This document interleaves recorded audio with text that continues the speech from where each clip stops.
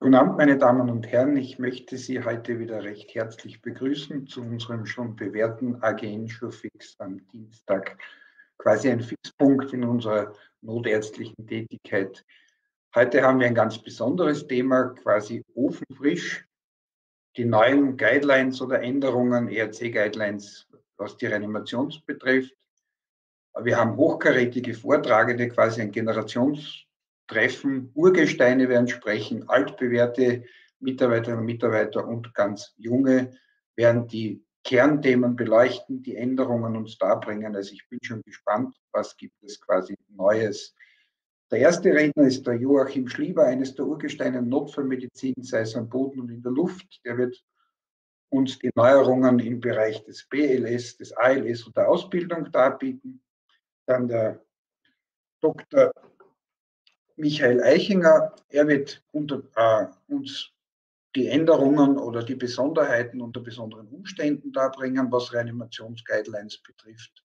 Und last but not least auch der Kindernotfall, der, die Reanimationsrichtlinien des Neugeborenen, des Kindes werden uns in bewährter Weise dargeboten vom Privatdozent Miriam Pocewalnik von der Kinderklinik und vom Privatdozent Bernhard Schwarberger.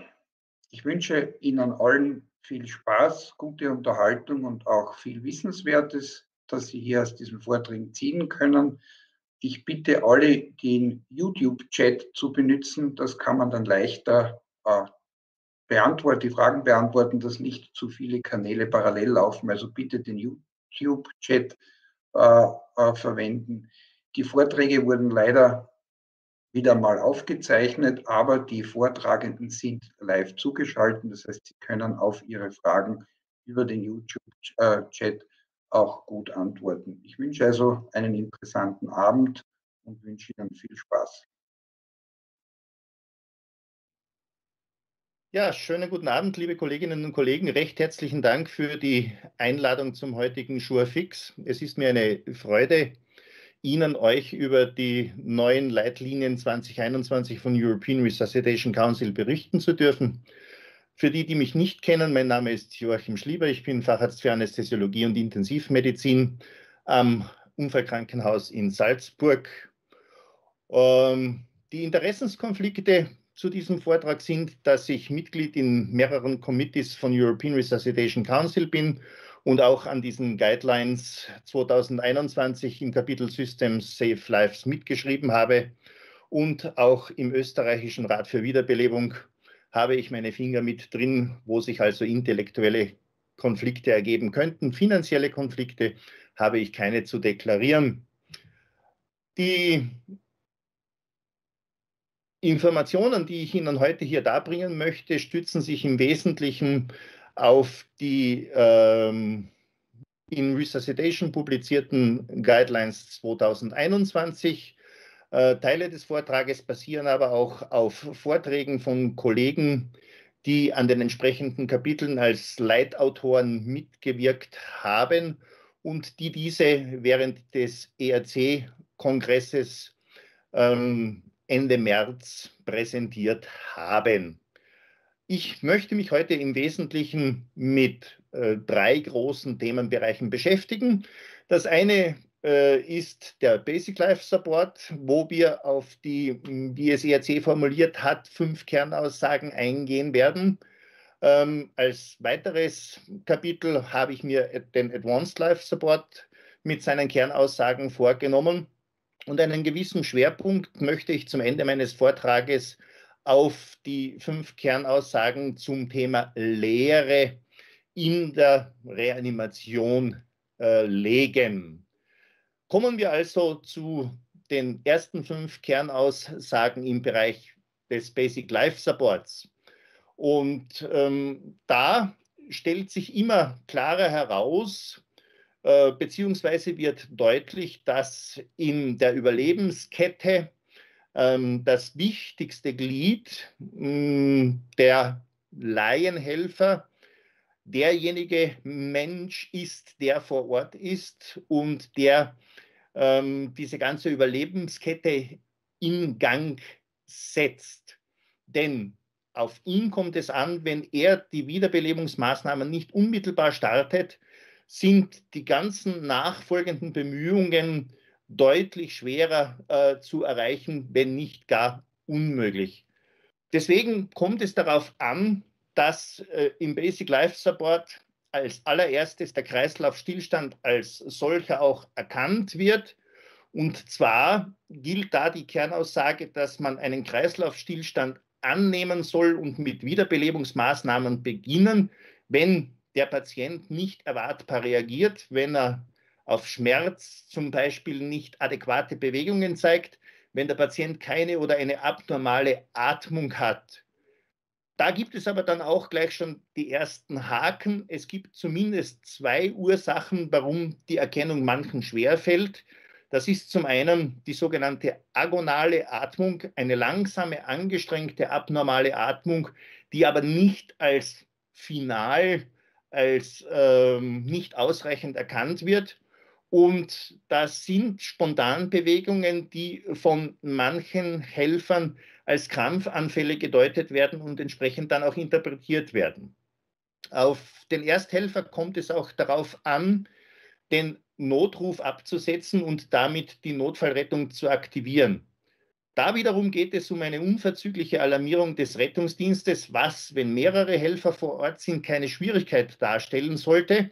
Hingegen, wenn es nur einen Helfer vor Ort gibt, ähm, da gewisse Probleme auftreten können. Wenn dieser eine Helfer ein Mobiltelefon hat und besitzt, dann gilt die Empfehlung, dass er nach Möglichkeit die Freisprecheinrichtung nutzt und, wenn er den Notruf absetzt, anschließend unter Assistenz des Leitstellendisponenten auch die Wiederbelebungsmaßnahmen durchführt. Eine klare Empfehlung gibt es jetzt auch wenn der Betreffende kein Telefon hat. Da sagen die neuen Leitlinien, dass der Patient verlassen wird, um den Rettungsdienst zu alarmieren und erst nach der Wiederkehr mit den Reanimationsmaßnahmen, mit den Wiederbelebungsmaßnahmen begonnen wird. Daraus ergibt sich aber, dass ähm, eine Leitstelle oder im Englischen ein Dispatch Center ähm, neue Aufgaben bekommt. Und zwar dass die Leitstelle, der Leitstellendisponent den Anrufer dabei unterstützt, einen eventuellen Kreislaufstillstand zu erkennen, ihn dazu anhält, dass er die frühe Wiederbelebung startet und dass er ihn nach Möglichkeit dabei unterstützt, auch eine frühe Defibrillation ähm, durchführen zu können, indem er ihm die Position von Halbautomaten, von AEDs zum Beispiel angeben kann. Gehen wir ein wenig weiter in die Details der Wiederbelebung selbst. Ähm, der Schwerpunkt, nicht nur im Basic Life Support, sondern durch die gesamten Leitlinien, liegt auf sogenannten hochwertigen Thoraxkompressionen. Und da ist die derzeitige Feststellung zum Druckpunkt, dass dieser die untere Hälfte des Brustbeines ist. Im englischen Original heißt es Center of the Chest. Bei der Drucktiefe äh, sind wir bei mindestens 5 cm, aber nicht tiefer als 6 cm. Die Druckfrequenz beträgt weiterhin 100 bis 120 Thoraxkompressionen pro Minute, wobei explizit nochmals darauf hingewiesen wird, dass es möglichst keine Unterbrechungen zwischen den Thoraxkompressionen geben soll. Auch ist für die Qualität darauf zu achten, dass äh, der Brustkorb nach jeder Thoraxkompression vollständig entlastet wird und dass es zu keinem Auflehnen des Ersthelfers auf den Patienten kommt. Ähm, wenn möglich, sollen die Wiederbelebungsmaßnahmen auf einem harten Untergrund durchgeführt werden, was aber nicht als Muss gesehen wird. Ein einzelner Helfer kann oft schwer einen Patienten bewegen, um ihn auf harten Untergrund zu bringen. Man soll also nicht durch diese Maßnahmen die äh, Einleitung der Wiederbelebungsmaßnahmen äh, nach hinten hinaus zögern. Ähm, zum Thema Atemspende für Ersthelfer im Basic Life Support sei gesagt, ähm, dass sie diese nur durchführen sollen, wenn sie a. befähigt dazu sind und b. wenn sie gewillt sind, diese auch durchzuführen.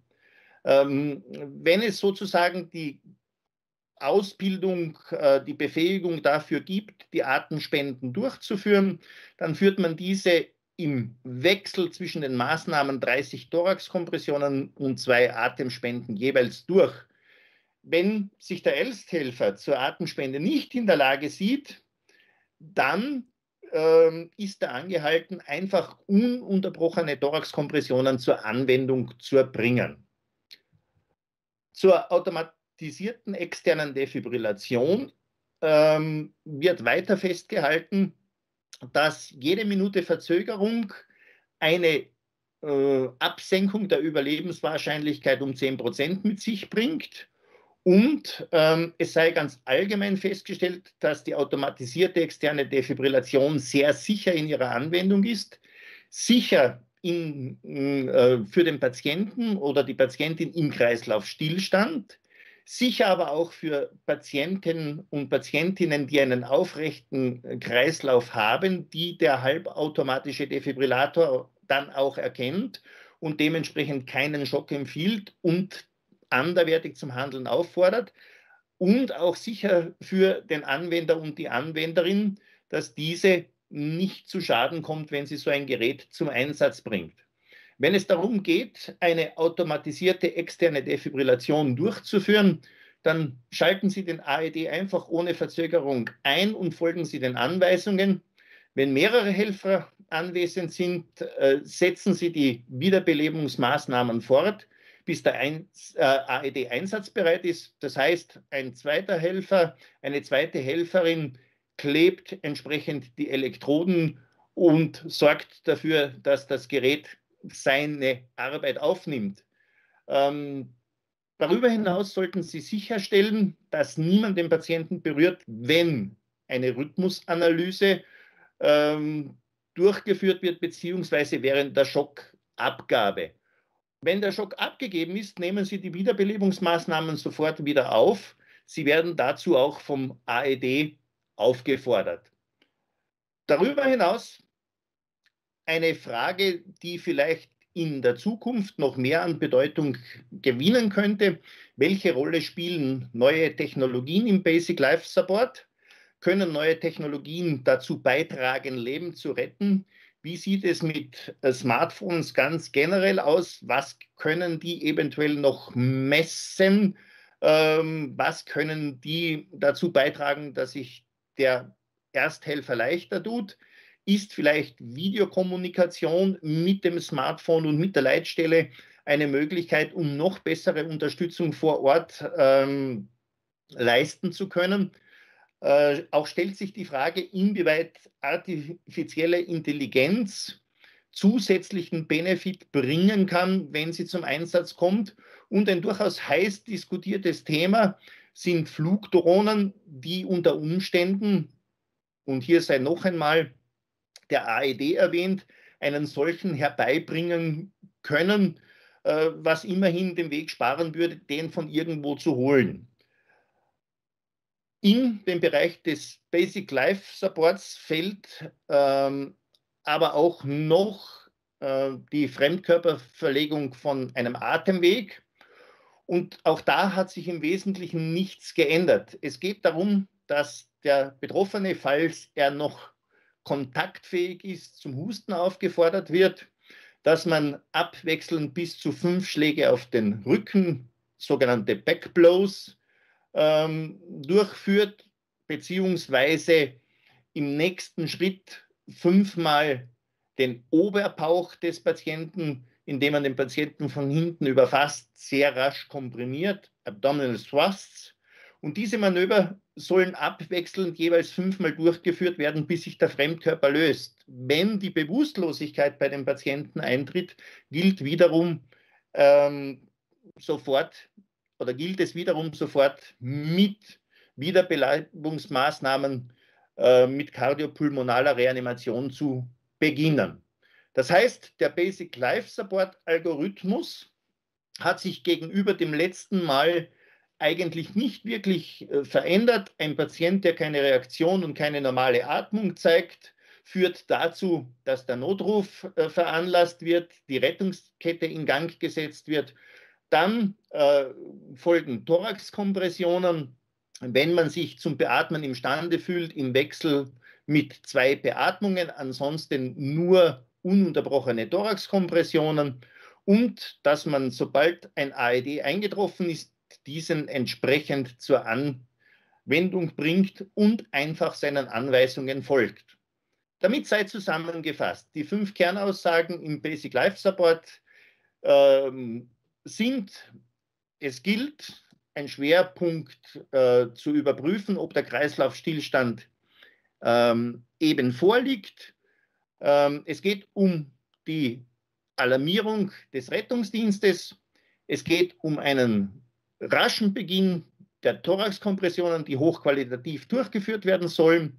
Äh, es geht um den Einsatz des AEDs, der möglichst rasch zum Einsatz gebracht werden äh, soll. Und es gibt diesmal auch die Empfehlung, dass man versuchen sollte, die Ausbildung in Basic Life Support in die Fläche zu bringen, dass nach Möglichkeit möglichst viele Leute in Basic Life Support ausgebildet werden. Kommen wir in einem zweiten Schritt nun zum Advanced Life Support und äh, den Themen, die sich da um die fünf Kernaussagen herum bewegen.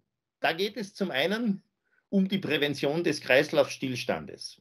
Patienten mit einem innerklinischen wie präklinischen Kreislaufstillstand zeigen sehr oft Warnsymptome. Diese Warnsymptome müssen erkannt werden und dann auch entsprechend als Risiko gewertet werden, dass es zu einem Kreislaufstillstand kommen könnte. Das ist im außerklinischen Notfall, wenn es zu Synkopen kommt, Patienten oder Personen, die kollabieren, insbesondere bei Anstrengung im Sitzen, in Rückenlage oder Personen, die über Herzklopfen klagen, die plötzlich und aus unerklärlichen Gründen Schwindel und Atemnot haben.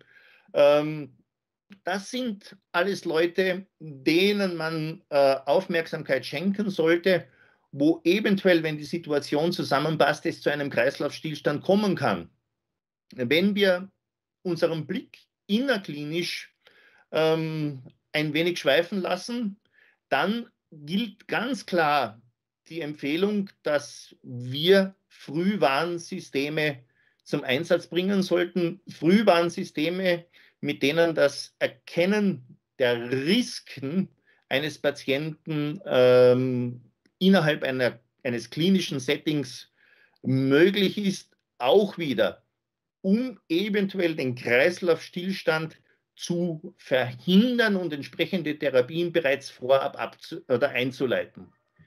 Wenn wir jetzt einen Blick, einen schnellen Blick auf den ähm, Algorithmus von Advanced Life Support legen, dann kommen wir drauf, im Wesentlichen ist es auch hier alter Wein in neuen Schläuchen. Ein neues Design, aber jetzt auf den ersten Blick keine wirklich großartigen Änderungen, die Sie da entdecken werden.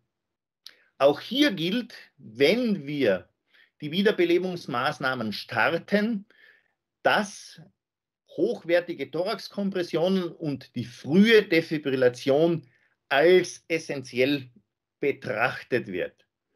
Das heißt, auch hier werden hochwertige Thoraxkompressionen mit minimalen Unterbrechungen durchgeführt. Es wird so früh wie nur möglich, wenn es denn angebracht ist, defibrilliert. Und wenn Sie mit einem manuellen Defibrillator arbeiten, was in der klinischen Umgebung ja nach wie vor der Standard ist, dann sollte die Unterbrechung der Thoraxkompressionen für die Abgabe der Defibrillation längstens fünf Sekunden dauern. Was kommt sonst noch dazu? Neben den qualitativ hochwertigen Thoraxkompressionen ist selbstverständlich die Sauerstoffgabe, die Kapnographie, äh, die kontinuierlichen Thoraxkompressionen, wenn der Atemweg gesichert ist und, und, und. Alles Maßnahmen, die wir ja noch von den Guidelines 2015 kennen, ähm, durchzuführen. Wie sieht es aus, wenn wir da ein klein wenig in das Thema Atemweg und Beatmung hineinschauen. Und da ist die Aussage in den neuen Guidelines, beginnen Sie während so einer Wiederbelebung mit dem Basismanagement der Atemwege und intensivieren Sie diese Maßnahmen je nach Erfahrung schrittweise, bis eine effektive Beatmung erreicht ist. Das heißt, man sagt ganz klar, dass im Zweifelsfall eine Beutelmaske-Beatmung, wenn sie denn suffizient ist und gut funktioniert, ausreichend ist. Man sagt aber gleichzeitig, wenn die Erfahrung da ist, ich also in der Anwendung trainiert bin, kann ich natürlich auch den Weg beschreiten, dass ich das eskaliere und eventuell einen supraglottischen Atemweg zum Einsatz bringe oder ich mich auf die Expertenebene bewege und sage, ich möchte doch dem in unserem breiten Goldstandard der Intubation folgen. Dahingegen muss gesagt werden, äh, dass die Guidelines oder die entsprechenden, ich sage mal, Proponenten in äh, Europa dazu sagen, die Intubation sollte nur von denjenigen durchgeführt werden, die eine Aussicht haben, bei zwei Intubationsversuchen eine Erfolgsquote von 95 Prozent zu erreichen. Und wenn mehrere da sind, die sich matchen, äh, wer besser ist im Intubieren, dann sollte im Zweifelsfall immer der bessere oder vermeintlich bessere oder erfahrenere äh, die Intubation durchführen. Des Weiteren ist festgestellt beim Thema Atemweg und Beatmung, dass im Rahmen der Reanimation die höchstmögliche Konzentration an inspiratorischem Sauerstoff abgegeben werden sollte. Das alte Thema Adrenalin. Adrenalin ist nach wie vor der einzige Vasopressor, der in der Reanimation wirklich in den Guidelines steht und empfohlen wird. Und auch da kann ich Sie beruhigen, hat sich nicht viel geändert. Das heißt, ein Erwachsener im Kreislaufstillstand mit einem nicht defibrillierbaren Rhythmus bekommt so bald wie möglich ein Milligramm IV oder Intraoser. Sollte es ein Patient sein, der einen defibrillierbaren Rhythmus aufweist, dann gilt auch wieder nach dem dritten Schock die Gabe von 1 Milligramm Adrenalin äh, IV. Und woran sich auch nichts geändert hat, ist die repetitive Gabe von Adrenalin. Und da sind wir wieder bei den drei bis fünf Minuten. Und zwar solange die Maßnahmen der Wiederbelebung durchgeführt werden. Zum Thema reversible Ursachen erkennen und behandeln. Ähm, die vier Hs und die Hits, da ist nichts Neues dazugekommen. Ähm, etwas gezielter vielleicht die Betrachtungen, wie man einzelne äh, dieser Situationen erkennen kann und wie man dann entsprechend weiter an die Sache herangeht. Da ist zum einen einmal die Sonographie während erweiterter Reanimationsmaßnahmen. Äh, diese sollte nur von qualifizierten Untersuchern während des Kreislaufstillstandes durchgeführt werden. Und zwar mit dem Hintergrund, dass es zu keinen längeren Unterbrechungen der Thoraxkompressionen kommt, die, wie wir ja bereits mehrfach gehört haben, ähm, sozusagen im Fokus stehen mit der Aussage Durchführung von hochqualitativen Thoraxkompressionen.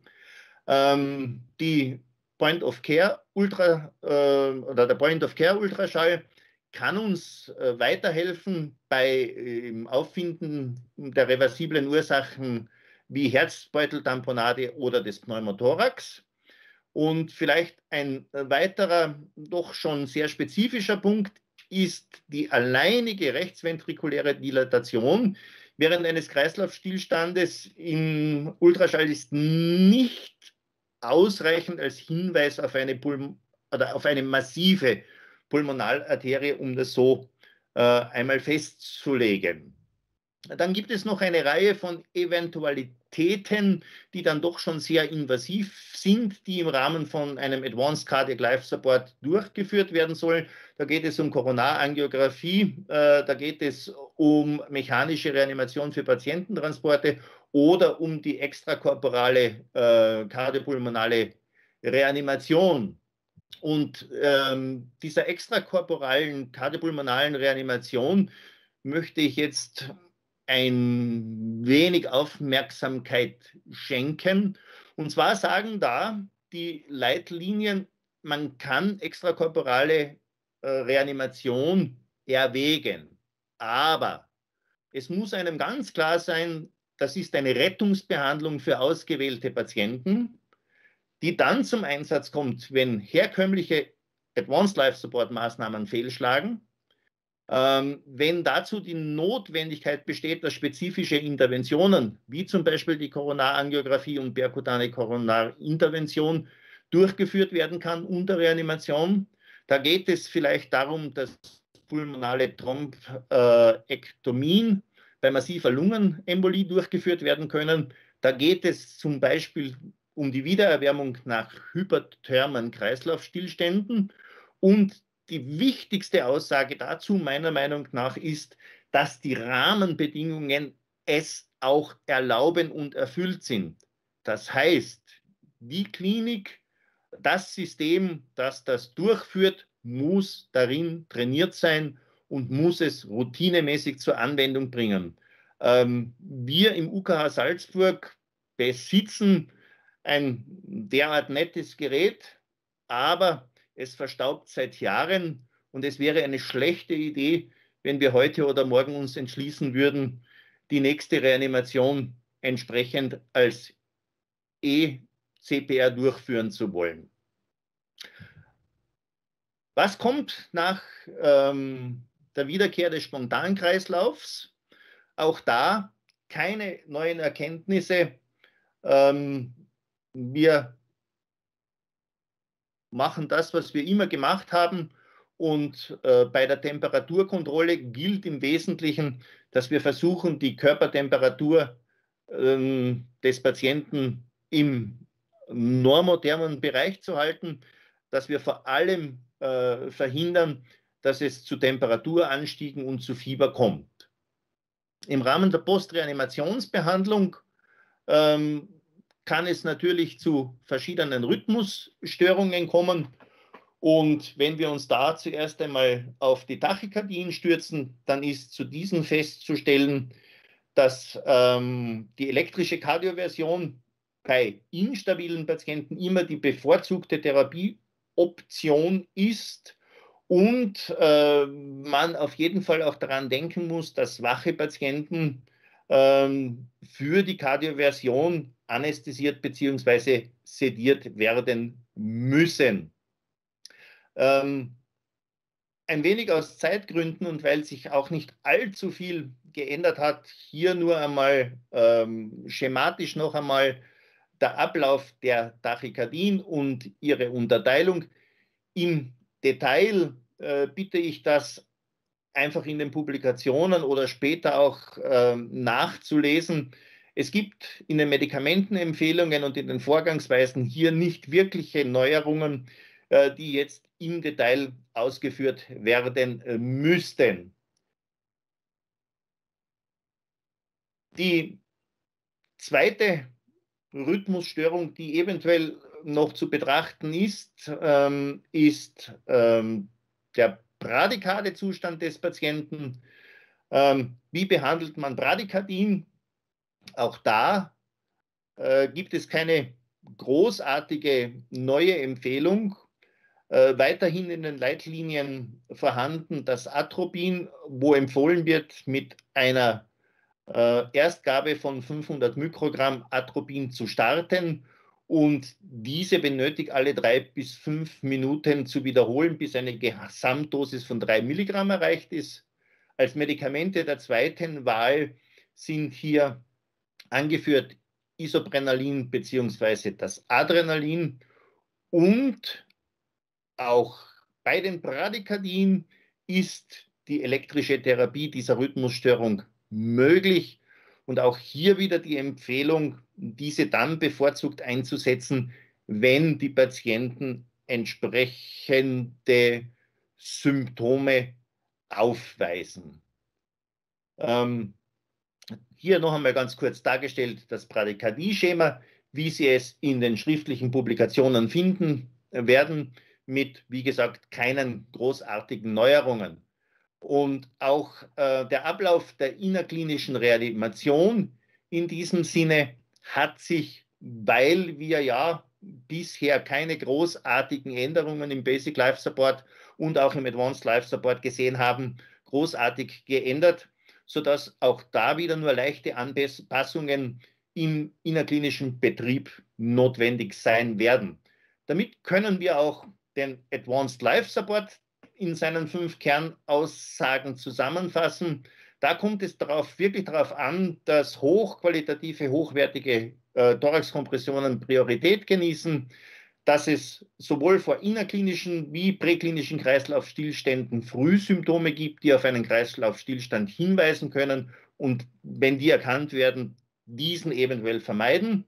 Ähm, dass zum Thema Atemweg man durchaus eine eskalierende Strategie äh, verfolgen soll, von Basismaßnahme bis hin zu Oro, äh, ähm, oder endotrachealer Intubation, dass bei nicht äh, schockbaren Rhythmen frühzeitig Adrenalin gegeben werden soll und dass man eben, wenn die konventionelle Wiederbelebung erfolglos bleibt, bei ausgewählten Patienten, sofern es möglich ist, die extrakorporale CPR in Betracht ziehen soll.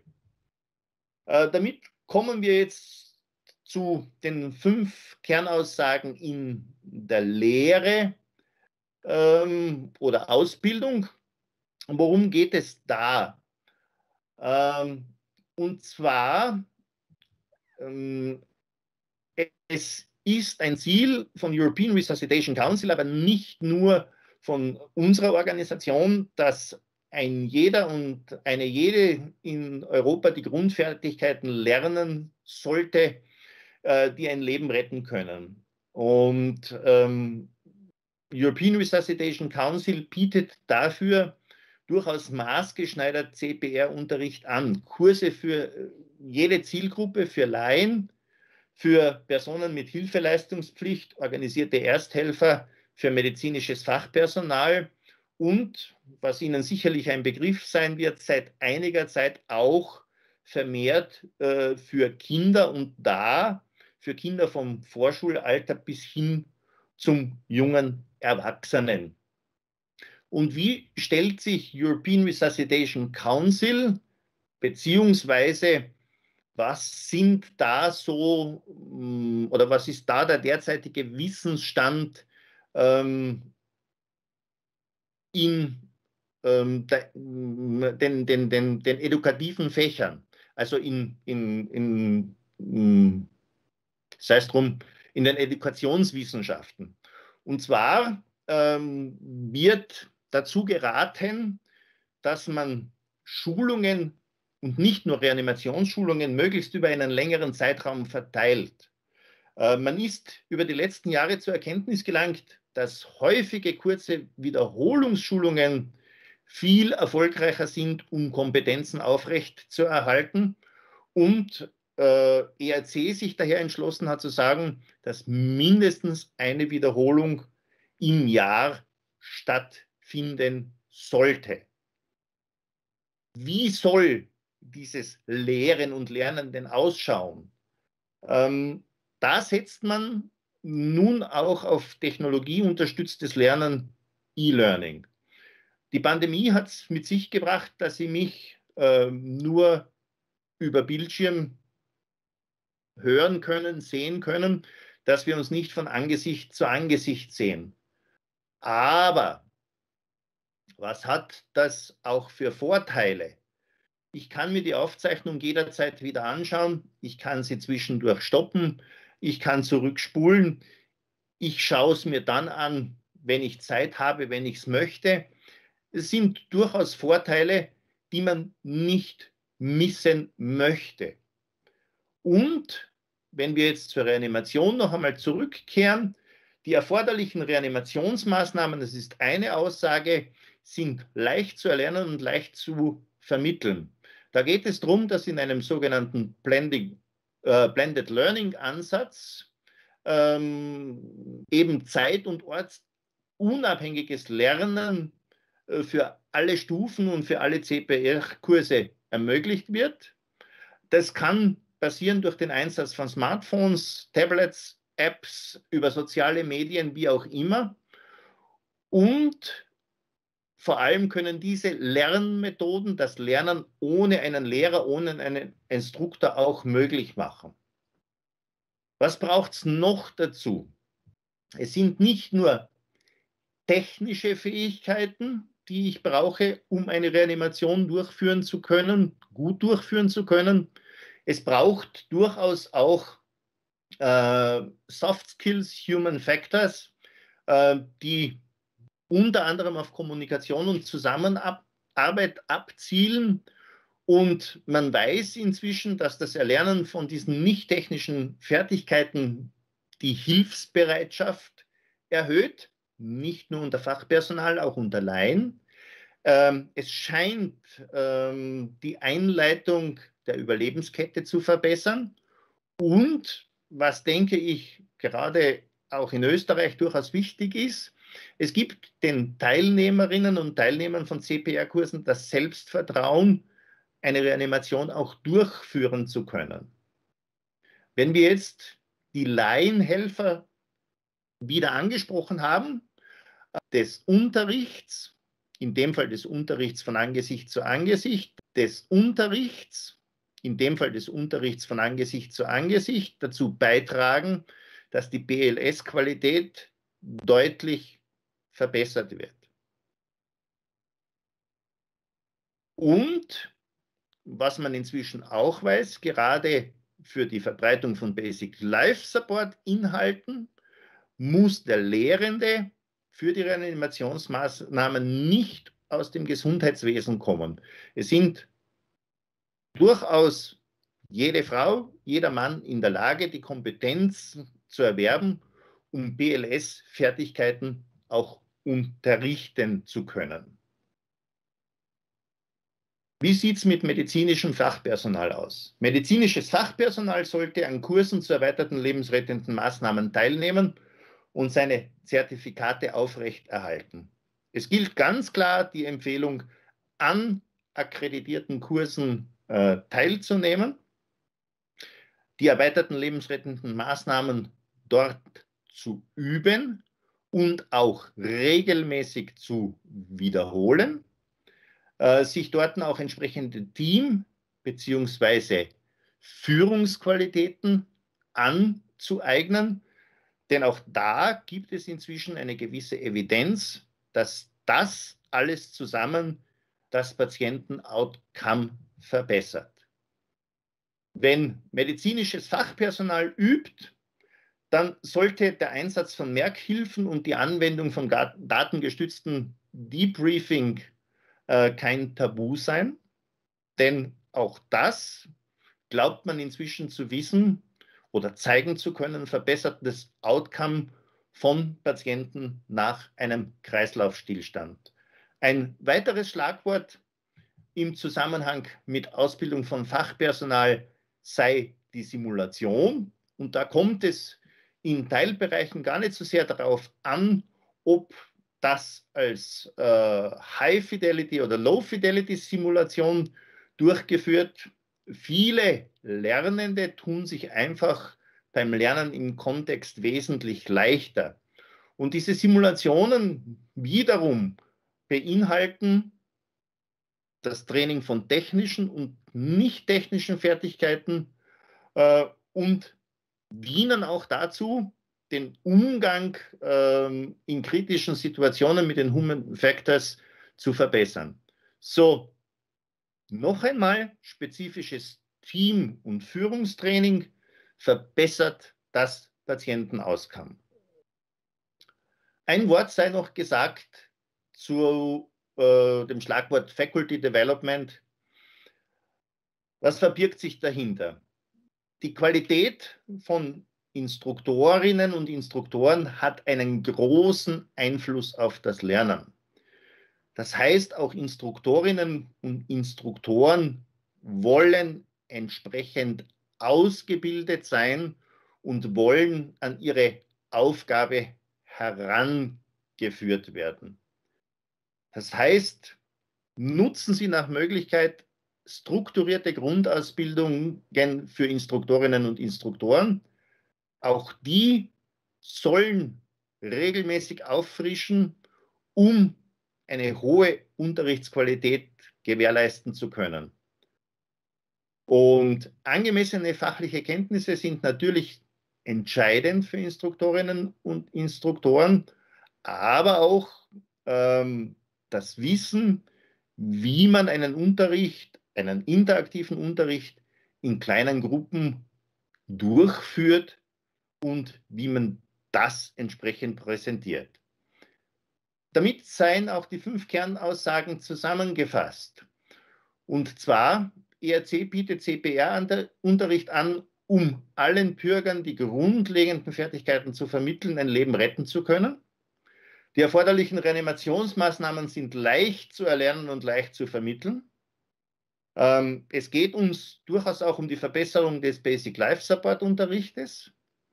Medizinisches Fachpersonal sollte an Kursen zu erweiterten lebensrettenden Maßnahmen teilnehmen und seine Zertifikate aufrechterhalten. Und Faculty Development spielt eine große Rolle in diesem gesamten Prozess.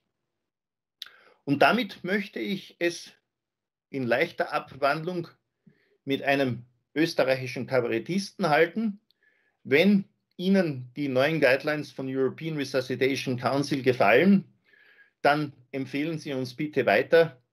Wenn nicht, behalten Sie die neuen Guidelines für sich. Vielen Dank für Ihre Aufmerksamkeit und ich freue mich schon sehr auf die Diskussion. Schönen guten Abend, mein Name ist Michael Leichinger und ich darf ein Update zu den ERC-Guidelines bei den speziellen Umständen äh, machen. Der Kongress hat ja letzte Woche stattgefunden und damit darf ich das kurz erläutern, was es dort für Neuigkeiten gab. Und ich darf es auch gleich vorwegnehmen, es ist ja auch kein Geheimnis mehr. Es gab bei den speziellen Umständen, bei diesem Kapitel, großen Veränderungen. Also no major changes. Natürlich ist das jetzt nicht ganz so überraschend. Ähm, es haben sich ein paar Kleinigkeiten verändert und gerade die speziellen Umstände ähm, sind dieses Mal sehr ausführlich teilweise geworden, ähm, um fast 80 Seiten das Kapitel. Dementsprechend sind schon ein paar Dinge vorgekommen, die wir uns anschauen werden zusammen, aber es hat jetzt keine weltbewegenden Veränderungen dabei gegeben. Schauen wir uns ganz kurz an, woher kommen diese Guidelines diesmal, was ist das Level of Evidence und das kann man in der Executive Summary nachlesen, aber prinzipiell ist es so, dass die Guideline aufgrund von Expertenkonsens gebildet wurde, ähm, nach Diskussion innerhalb der Schreibgruppe. Und wenn es eine Evidenz dazu gab, im Sinne von systematischen oder Scoping Reviews oder auch ähm, Originalliteratur, dann wurde das jeweils erwähnt, aber der Großteil bezieht sich wirklich auf ähm, Expertenkonsens und Diskussion. Gut, diesmal hat das ERC auch ähm, diese fünf Top-Nachrichten eingeführt bei den jeweiligen ähm, Kapiteln und in dem Fall eben auch noch diese fünf Top-Messages, die wir da durchgehen. Ist im Prinzip nichts Neues, nur nochmal eine Priorisierung oder eine Kurzzusammenfassung der wesentlichsten Dinge. Ähm, das erste ist mal das Evaluieren und das Checken ähm, also da sollte man einfach den ABCDE-Approach anwenden und natürlich immer auf die Teamsicherheit achten. Dann geht es um das Behandeln selbst. Da ist prinzipiell das Credo, dass man den ILS-Algorithmus wie vorgegeben einfach folgen soll. Man sollte natürlich die No-Flow-Zeit reduzieren, die Oxygenierung optimieren und die Ressourcen, die man zur Verfügung hat, so gut es geht, nutzen. Das ist alles ja unlängst bekannt dann geht es schon ein bisschen mehr in Richtung spezielle Umstände, weil man priorisieren muss. Da in dem Fall natürlich vor allem die reversiblen Ursachen und auf die einen Stellenwert zu legen. Ähm, das sind dann auch die vier Hs und die vier Ts angeführt aus dem Englischen heraus. Aber ganz wichtig ist auch, dass man vor allem bei den speziellen Umständen, je nachdem, wie das ähm, indiziert ist, auch modifiziert nach eigenem Ermessen und natürlich auch nach Vorgaben der Guideline. In dem Fall sollte man den ILS-Algorithmus so weit modifizieren, wie das eben entsprechend nötig wäre, vor allem bei bestimmten Ursachen, bestimmten Settings, also Umfelden, also speziellen Umfeld oder auch speziellen Patientengruppen. Darauf werden wir gleich eingehen. Und zum Schluss muss man natürlich auch immer berücksichtigen und überlegen, ähm, wohin kann ich den Patienten bringen und was in dieser Guideline prinzipiell ähm, stark untermauert wurde, ist auf jeden Fall die Rolle von eCPR, wo man vermehrt auf, dieses, auf diese Option eingeht. Gut, ganz kurz eben, wie schon erwähnt, ähm, die ERC unterteilt das im speziellen Umständen-Kapitel immer nach verschiedenen Thematiken. Und zunächst diese speziellen Ursachen, die haben sich im Wesentlichen nicht wirklich geändert. Es ist vielleicht das ein oder andere dazugekommen oder genauer definiert worden. Dann die speziellen Umstände, da ist deutlich mehr als bei den, beim letzten Update äh, hinzugefügt worden. Ähm, also so Dinge wie, wie ähm, Heims- oder Kreuzfahrtschiff, zum Beispiel Zahnarztpraxen, das ist schon ähm, noch einmal genauer untermauert worden. Auch in den Krankenanstalten wurden die Orte des, von Hochrisikopatienten, wo mögliche Krank ähm, Herz-Kreislauf-Stillstände beobachtet werden können, ähm, genauer definiert. Und dann natürlich unverändert die spezielle Patientengruppe, ähm, wie wir sie schon aus dem vorherigen Update gekannt haben. Und zu den jeweiligen Punkten ist eben ein Update gegeben worden. Gut, schauen wir uns Traum, den Traumalgorithmus an der bei der RC zur hypovolemen Stillstandsursache gezählt wird. Und da hat sich auf den ersten Blick gar nicht viel getan. Ähm, wenn man genauer hinschaut, haben sich aber sehr wohl ein paar Dinge verändert, die ganz wesentlich sind und so deutlich wie noch nie erwähnt worden sind. Zunächst natürlich, wenn man wirklich einen hypovolemen traumatischen Herz-Kreislauf-Stillstand hat und der auch so verifiziert ist, dann soll man sich um die reversiblen Ursachen kümmern, und zwar simultan. Es ist auch ganz wesentlich, dass man, dass das die Priorität hat und auch die Herzdruckmassage das nicht verzögern darf. Dementsprechend, wenn man ähm, in einem Setting ist, wo man nicht viel Manpower hat, dann sollte man eben tatsächlich sich hauptsächlich auf die Ursachenbehebung äh, stürzen und nicht die Herzdruckmassage, weil auch klar erwähnt worden ist, dass das eben sehr wahrscheinlich keinen Vorteil für den Patienten bringt, hingegen die Behebung der reversiblen Ursachen sehr wohl für die Behebung sind, auch, sind uns auch ein paar Dinge ähm, hinzugefügt worden, die wir verwenden können dafür. Und unter anderem zum Beispiel der Beckengurt wird diesmal erwähnt, vor allem aber auch Blutprodukte als wesentlicher Punkt, wie man ähm, die, die Hypovolemie vor allem bekämpfen soll. Dann ein kleines Detail, das sich diesmal auch sehr geändert hat. In dem Fall wird nicht mehr unterschieden zwischen stumpf und penetrierendem Mechanismus, für die Indikation zum Beispiel von einer äh, Thorakotomie oder auch von, von Reboa, sondern mehr ähm, um den Verlust der Vitalparameter in der ersten Viertelstunde. Und wenn dann die Indikationen gegeben sind, dann soll man es durchführen oder kann man es durchführen, unabhängig vom Mechanismus. Das ist auch ein, eine Änderung im Detail, wenn man, wenn man so will. Letztendlich sollte man durch die Behebung an Leine oder auch die invasiveren Maßnahmen eben wie Ribor oder Thorakotomie einen ROSC erzielen. Wenn das nicht erfolgt ist, dann sollte man eben über die Terminierung der CPR nachdenken und wenn man im Krankenhaus ist oder also einen ROSC erzielt, dann kann man sich überlegen, wie man, wie man natürlich den Patienten weiter versorgt im Sinne von Damage Control, ähm, Resuscitation oder Surgery und ansonsten eben der rasche Transport ins Krankenhaus anzustreben. Also das sind so die wesentlichen Dinge, die sich beim Trauma getan haben. Also sehr deutliche Aussagen, die auch in den Schlüsselempfehlungen auch einmal zusammengefasst worden sind. Ganz klar, don't pump an empty heart. Das ist eine starke Aussage vom RC das erste Mal in dieser ähm, Deutlichkeit. Dann natürlich die Behebung der reversiblen Ursachen, die sofort und, und simultan angestrebt werden soll.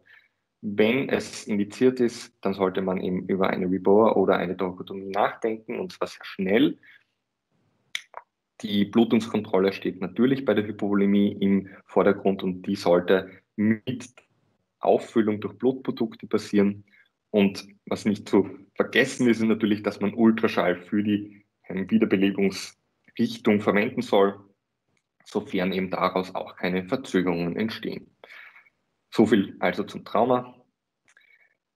Bei der Hyperkalämie als die, eine andere eine spezielle Ursache für den Herz-Kreislauf-Stillstand hat sich auch nicht Wesentliches getan. Ähm, das Einzige, was da deutlich hinzugekommen ist, ist die Entfernung von Kalium aus dem Körper. Und da wurden sowohl bei moderater als auch bei schwerer Hyperkalämie diesmal ähm, Präparate angeführt, mit denen man das forcieren sollte. Natürlich wird auch hier die Möglichkeit der ECPR ähm, gebracht, wenn es indiziert ist und prolongierte Maßnahmen nötig sind, auch wenn die, das Kalium anders nicht zu beheben wäre. Aber ansonsten muss man sagen, hat sich bei diesem, äh, bei diesem Algorithmus nicht viel getan, außer diese Stelle, die deutlich hervorgehoben ist. Die speziellen Ursachen sind diesmal auch auf die Sepsis ein wenig eingegangen als eine häufige Ursache, wie es im Krankenhaus zu einem Herzstillstand kommen kann, der auch antizipierbar meistens ist. Und da wurde das ähm, One-Hour-Bundle von der Surviving Sepsis Campaign eingefügt. Es wurde zwar nicht viel Stellung darauf bezogen, aber hauptsächlich darauf verwiesen, dass man eben diese Maßnahmen durchführen sollte, möglichst rasch, um eben einen Herz-Kreislauf-Stillstand auch rechtzeitig abzuwenden. Bei der Anaphylaxie interessanterweise gibt es dieses Jahr keinen ähm, eigenen Algorithmus, obwohl die RC viel neue Algorithmen eingefügt hat. Hauptsächlich natürlich auch daher, weil sich in der, im Management eigentlich nicht wirklich etwas geändert hat. Ein paar zusätzliche Details vielleicht. Ähm, natürlich wird auch hier wieder der Stellenwert von Volumen hervorgehoben, ähm, diesen Bolus, den man geben sollte. Andere Vasopressoren werden diesmal erwähnt, falls Adrenalin keinen gewünscht, nicht den gewünschten Effekt erzielt, vor allem eben um die Vasokonstriktion voranzutreiben, wobei natürlich nach wie vor Adrenalin First Line ähm, ist bei der Anaphylaxie, vor allem auch die intramuskuläre Gabe. Falls es aber zu mehrfachen intramuskulären Injektionen gibt, dann, wie auch schon beim letzten Update, eben ähm, die Adrenalin IV-Infusion anzudenken, auch über Perfuser zum Beispiel, allerdings eben nach wie vor nur für Experten.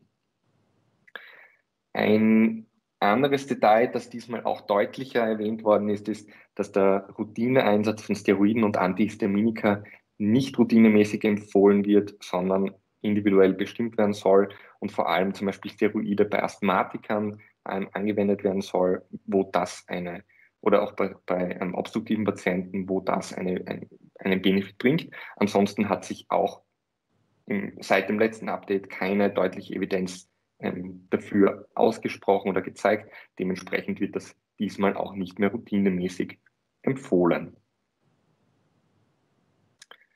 Dann hat sich die DRC sehr viel eigentlich ähm, mit, also mit Hypothermie, mit dem Thema an sich ähm, beschäftigt und unter anderem diesen neuen ähm, Handlungsbaum der akzidentiellen Hypothermie ähm, ge gebracht.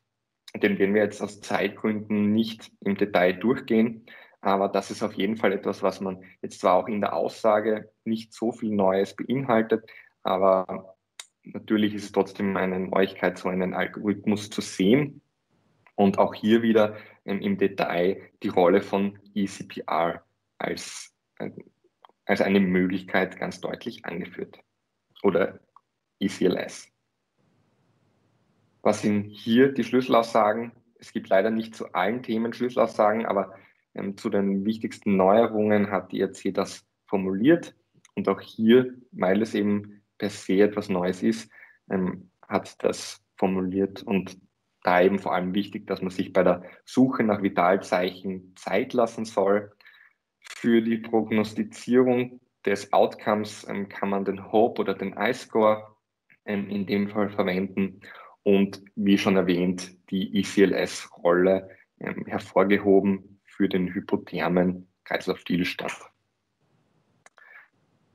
Der Lawinenunfall wird nochmal genauer ein bisschen verändert dargestellt und in dem Zusammenhang auch der nächste Algorithmus, den man sehen wird, nämlich Hypothermie unter erschwerten Bedingungen, was zum Beispiel auch den Lubinen einschließen kann. Und da ähm, hat sich eine Änderung ergeben, indem man wirklich diesmal den Anwendern auch die Möglichkeit gibt, alternierend CPR mit Stillstandsbahn zu ähm, verbinden, eben den möglichen Abtransport von so einem Patienten zu gewährleisten. Und das hat sich auch bisher, soweit man das eben feststellen konnte, nicht wirklich negativ ausgewirkt aufs Outcome, eben weil die Hypothermie die entsprechenden Voraussetzungen liefert, dass man auch mal eine Pause machen kann. Was eben dann die Weiterbetreuung des Patienten bei schwieriger Rettung zum Beispiel gewährleisten kann. Natürlich gibt es dann auch zur Hyperthermie eine Stellungnahme, die gab es eh schon immer, diesmal auch hier wieder mit einem neuen Algorithmus versehen, wo man das verdeutlicht sich anschauen kann. Ähm, die Schlüsselaussage hier ist vor allem, dass die Zeit ein wichtiger Faktor ist und dass natürlich mit der Kühlung des Patienten möglichst schnell begonnen werden soll, ähm, um dann die Weiterbetreuung zu forcieren. Also das ist auch ein, zumindest eine grafische Neuerung die, die, die, toxische Exposition ist diesmal ähm, auch nochmal genauer, auf die ist nochmal genauer eingegangen worden. Einerseits auf das Umfeld natürlich, wenn man in einer toxischen Umgebung vielleicht einen Patienten hat mit Herz-Kreislauf-Stillstand ähm, und wie man damit umgehen soll. Vor allem aber auch wurde zum Beispiel, ähm, ohne in Details darauf eingehen zu wollen, eine Liste mit spezifischen toxischen ähm, Mitteln ähm, gezeigt, und, und jeweils auch die Therapie davon. Das kann man also alles in der Guideline dann nochmal zusammengefasst nachlesen. Und das ist jetzt auch an sich keine Neuerung, aber es ist einfach noch einmal besser aufbereitet worden von der, von der RC dieses Mal. Im Krankenhaus ähm, ziehen sich ein paar Aussagen durch das ganze Kapitel hindurch, die wir nochmal vielleicht genauer hervorheben sollten. Das eine ist natürlich, dass man in Hochrisikobereichen, und die werden auch nochmal definiert, da kommen wir gleich dazu, immer vorbereitet sein soll auf einen möglichen Herz-Kreislauf-Stillstand und das soll auch regelmäßig trainiert werden. Ganz klare Aussage, das hat auch schon mein Vorredner dazu ähm, gesagt, dass der, die Ausbildung und Weiterbildung natürlich auf diesem Gebiet ähm, ganz essentiell ist, um gutes Outcome zu erzielen und auch in diesem Kapitel wird das regelmäßig angeschnitten. Natürlich, wenn es möglich ist, soll man den Herz-Kreislauf-Stillstand abwenden. Dazu auch eben einige Algorithmen mit den verschiedensten Ursachen. Vor allem ist aber auch hier wieder die Rolle von ECPR gestärkt worden, vor allem wenn man die Möglichkeit im Krankenhaus hat, diese anzuwenden.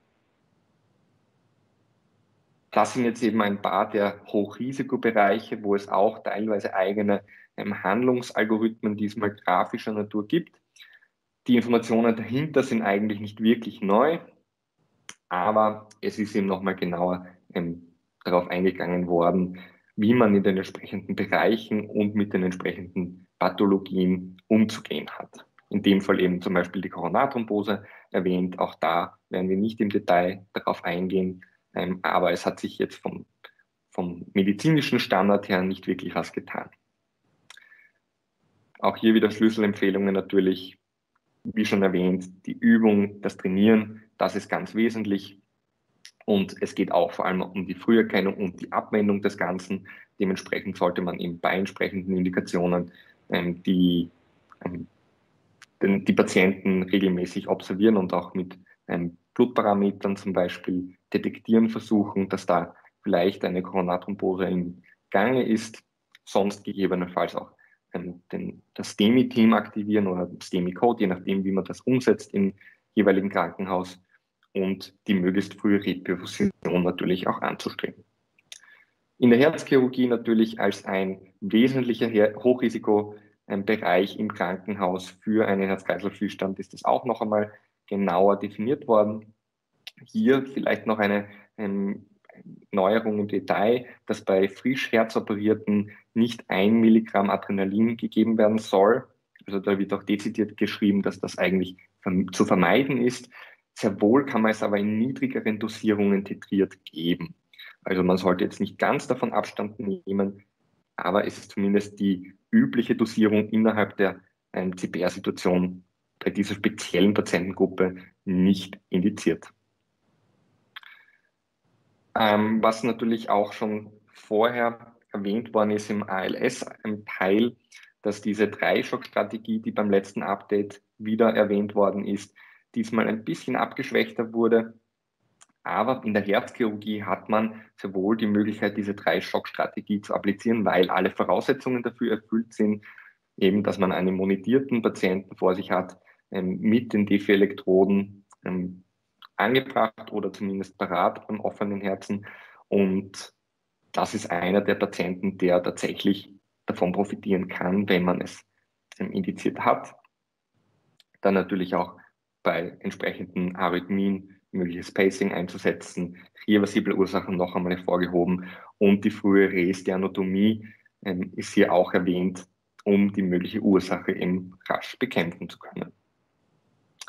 Gut, der Herzkatheter als ein, eines der letzten Hochrisikogebiete, wo ein Herz-Kreislauf-Stillstand auftreten kann. Auch hier ähm, in der wesentlichen Aussage nichts Neues, außer dass das grafisch diesmal schöner auch untermalt worden ist. Asthma im Krankenhaus ist diesmal auch sehr detailliert erwähnt worden. Da werden wir jetzt auch wieder aus Zeitgründen nicht genau darauf eingehen können.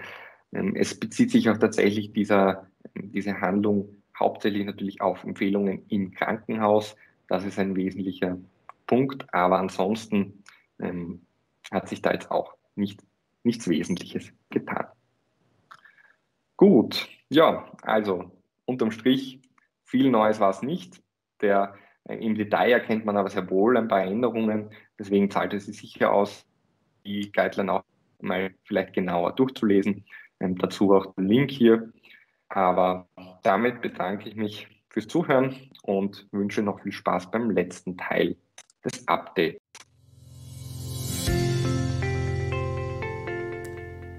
Ja, liebe Kolleginnen und Kollegen, ich bedanke mich sehr für die Einladung und dass ich für Sie diese neuen Reanimationsrichtlinien, die ERC Guidelines 2021 hinsichtlich des pädiatrischen Live-Supportes aufarbeiten durfte. Mein Name ist Miriam Boziwalnik, bin Oberärztin an der Kinderintensivstation des LKH Graz und darf Ihnen nun einen kurzen Einblick geben in die Kinderreanimationsrichtlinien, wie hier aufgeführt. Ein kurzer Überblick, eine Übersicht ähm, sieht so aus, dass die aktuellen Guidelines nicht nur die Reanimationsrichtlinien in Betracht ziehen und durcharbeiten, sondern dass es auch um das kritisch kranke Kind geht, um das Erkennen dieser Krankheitsbilder und wie wir diese behandeln können. Also es geht nicht mehr rein nur um die Reanimation, sondern auch um Szenarien davor, spezielle Indikationen, ähm, Periarrest-Szenarien, die einen großen Stellenwert äh, dazu gewinnen. Ein kurzer Einblick ähm, geht dahin, wir kennen vielleicht oft die Situation, wir sind nicht jeden Tag mit einem Kindernotfall konfrontiert, sehen aber im notärztlichen Dienst ein kritisch krankes Kind und können das primär nicht gleich auf den Punkt bringen. Wir denken uns oft, oh Gott, das Kind gefällt mir nicht oder haben einfach so eine Art Bauchgefühl. Ja? Das, was wir da empfinden, entspricht der Wahrheit und das ist abgebildet in diesen sogenannten Pediatric Assessment Triangles. Das heißt, man versucht genau diese Eindrücke, die wir da gewinnen, auf den Punkt zu bringen und ähm, die Reanimationsrichtlinien ähm, beschäftigen sich auch damit und empfehlen ganz klar, dass man sogenannte Assessment Triangles ähm, zu Hilfe nehmen soll, um dieses, äh, diesen ersten Eindruck des kritisch kranken Kindes auf den Punkt zu bringen. Weiterführend ähm, sind diese bekannten ABCDE-Schemata auch für die Kinder und Kindernotfälle anzuwenden und das wird da im Detail behandelt, so, sowohl für das Erkennen als auch für das Behandeln des kritisch kranken Kindes. Ich kann das nicht im Detail aus Zeitgründen durchgehen, aber um Ihnen einen Einblick zu geben, behandeln diese Richtlinien auch das respiratorische Versagen im Rahmen zum Beispiel vom Status Asthmaticus, die Anaphylaxie, kardiozirkulatorische Versagen mit der Sepsis und dem Schock, wo viel auf die äh, Surviving Sepsis Campaign von den Kindern eingegangen wird. Aber auch Rhythmusstörungen werden behandelt, Elektrolytstörungen, und auch neurologische Beeinträchtigungen mit dem Status Epilepticus, Stroke, Meningitis, Bewusstseinsveränderungen, Bewusstlosigkeit. Das heißt, all diese Krankheitsbilder werden auch im Detail mit medikamentösen ähm, Richtlinien ähm, sozusagen behandelt. Es geht um das Atemwegsmanagement, um das Volumensmanagement, um vasoaktive Substanzen, die medikamentöse Behandlung einzelner Krankheitsbilder. Ähm, es wird auch Einfluss äh, genommen oder Stellung bezogen auf sogenannte Drug Calculation Tools, das heißt in der Kinderheilkunde, im, bei der Kinderintensivmedizin ähm, beziehen, müssen wir uns auf äh, Gewichts- oder Größen des Kindes beziehen und ähm, wie wir oft nicht alles im Kopf haben können, vom Säugling, Neugeborenen bis zum äh, jugendlichen Patienten, müssen wir uns sogenannte Tools äh, zur Hilfe nehmen.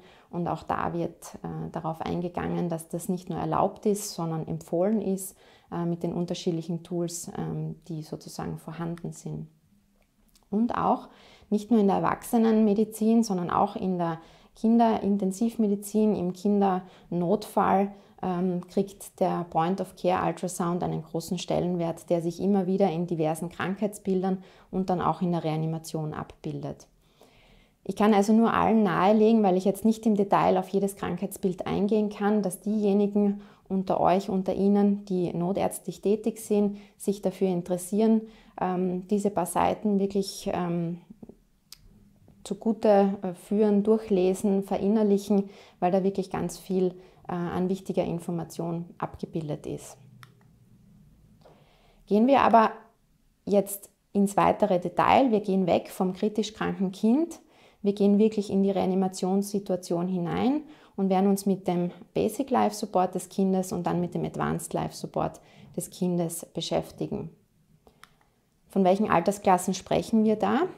Wir sprechen also nicht vom Kind unmittelbar bei oder nach der Geburt, sondern wir besprechen die äh, Neugeborenen der ersten vier Lebenswochen, des Säugling im ersten Lebensjahr und dem Kind bis zum 18. Lebensjahr. Kurz gesagt, 0 bis 18 Jahre betrifft diesen äh, Kinderreanimationsalgorithmus mit 15 Herzdruckmassagen und zwei Beatmungen im Rahmen der Reanimation. Die Guidelines sagen auch, wenn wir hinschauen, anyone who appears to be adolescent kann mit dem Erwachsenen-Reanimationsalgorithmus reanimiert werden. Unser Thema jetzt sind die Kinder von 0 bis 18 aber wir exkludieren die Neugeborenen unmittelbar nach der Geburt. Da wird mein Kollege Dozent Schwaberger näher darauf eingehen. Die haben einen extrigen Reanimationsalgorithmus, der ganz oben aufgeführt ist.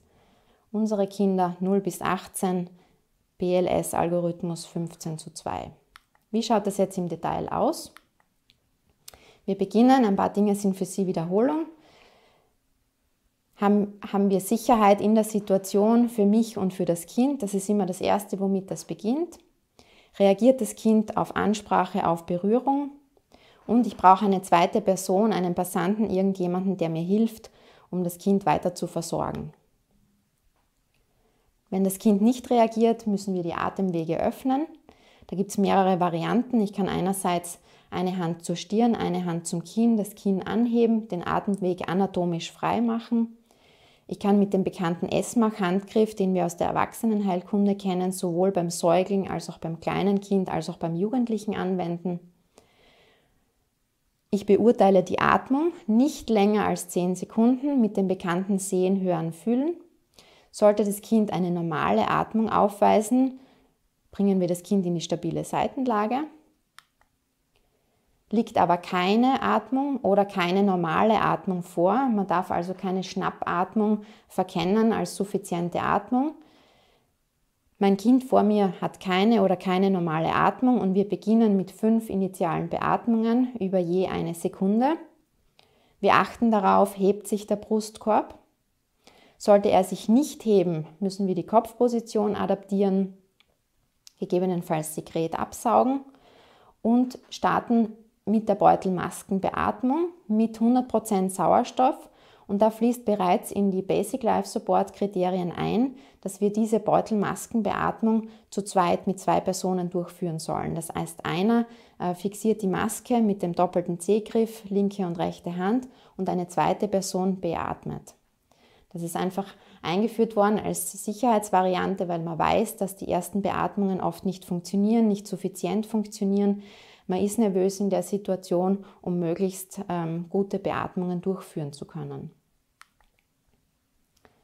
Währenddessen und danach achten wir auf Lebenszeichen.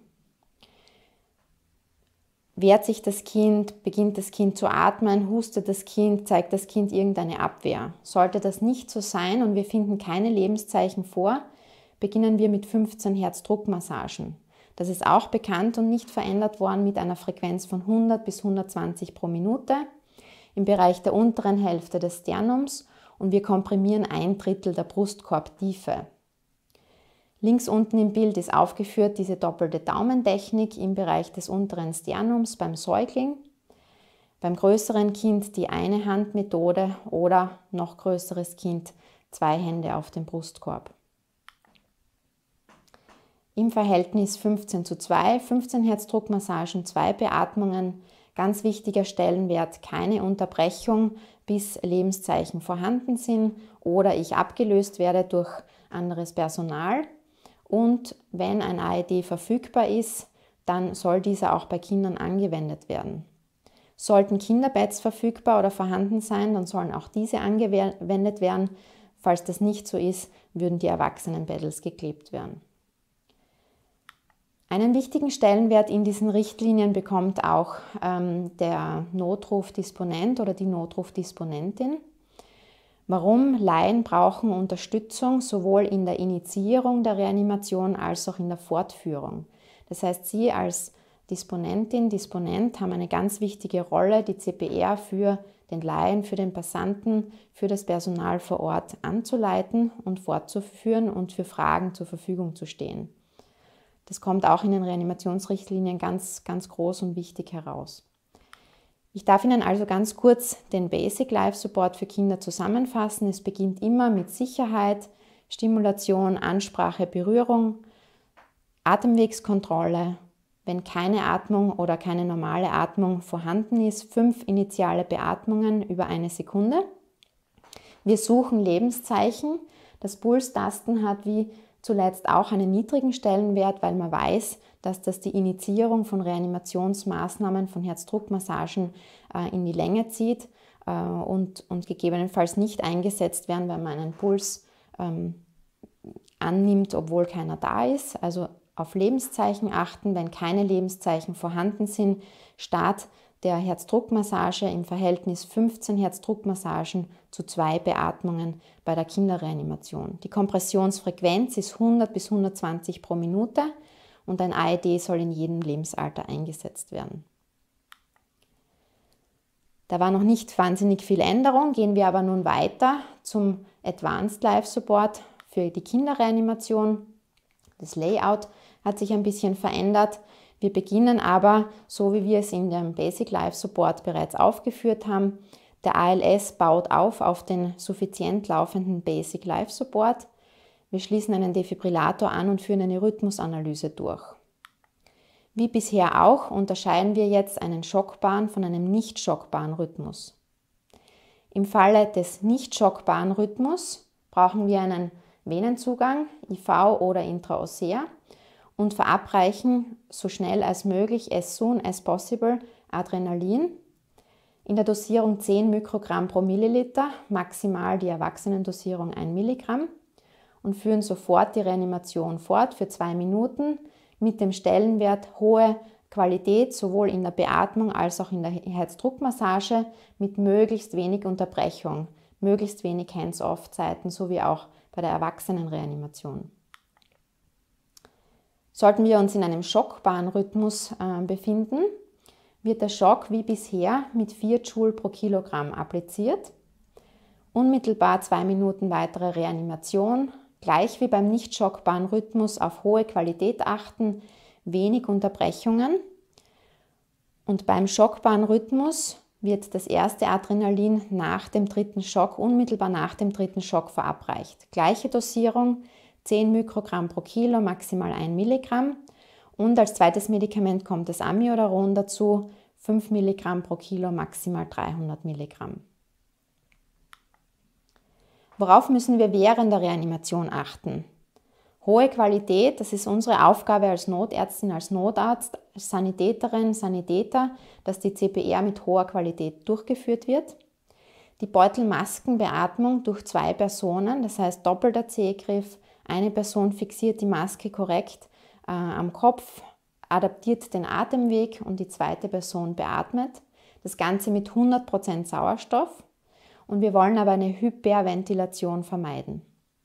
Wir brauchen einen Gefäßzugang, üblicherweise IV.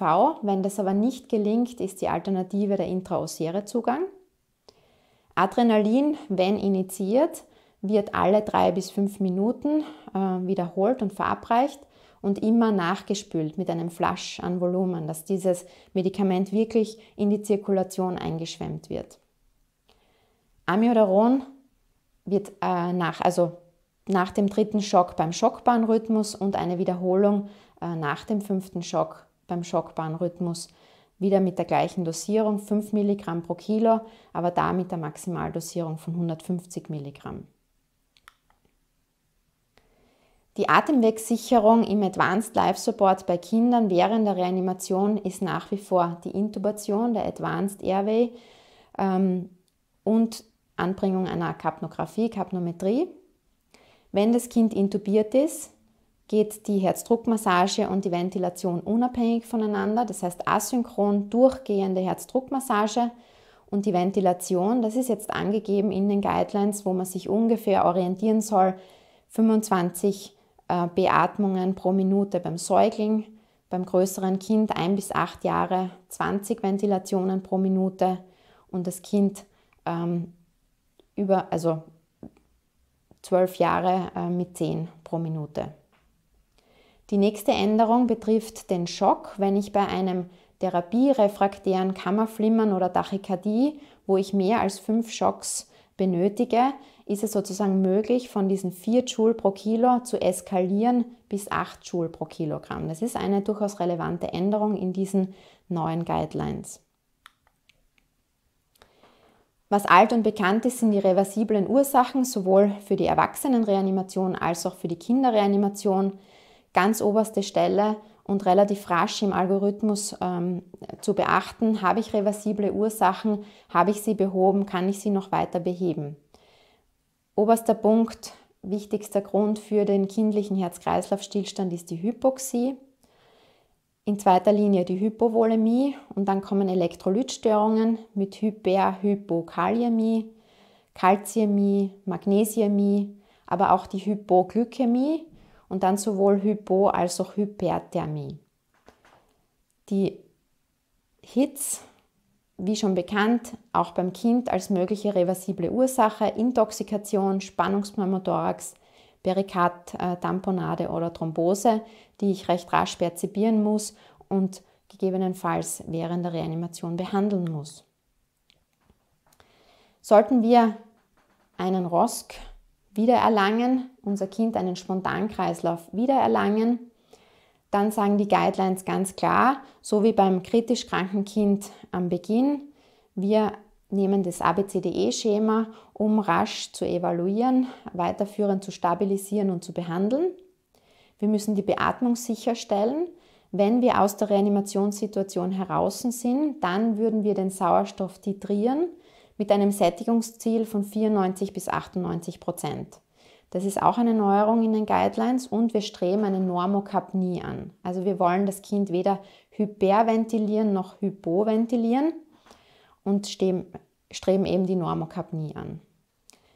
Nächste wesentliche Veränderung, wir wollen unbedingt eine Hypotension nach dem Kreislaufstillstand vermeiden. Als Hypotension ist definiert unter der fünften Perzentile vom mittleren arteriellen Blutdruck und Ziel ist, was wir anstreben wollen, eine ungefähr die 50. altersentsprechende Perzentile. Jetzt hat aber niemand von uns die Blutdruckwerte der 50. Perzentile vom Säugling, Neugeborenen oder Zehnjährigen im Kopf. Das heißt, die Guidelines bilden auch da äh, unten eingeblendet im Bild ähm, diese Normwerte ab. Das heißt, ähm, auch das sollte ich irgendwo bei der Hand haben, ob das elektronisch oder am Papier ist, um mich ungefähr orientieren zu können. Niemand verlangt, dass wir von einem Säugling diese Blutdruckwerte auswendig im Kopf haben.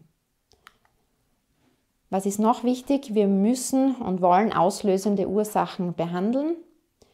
Wir müssen uns äh, über die Temperatur äh, Gedanken machen.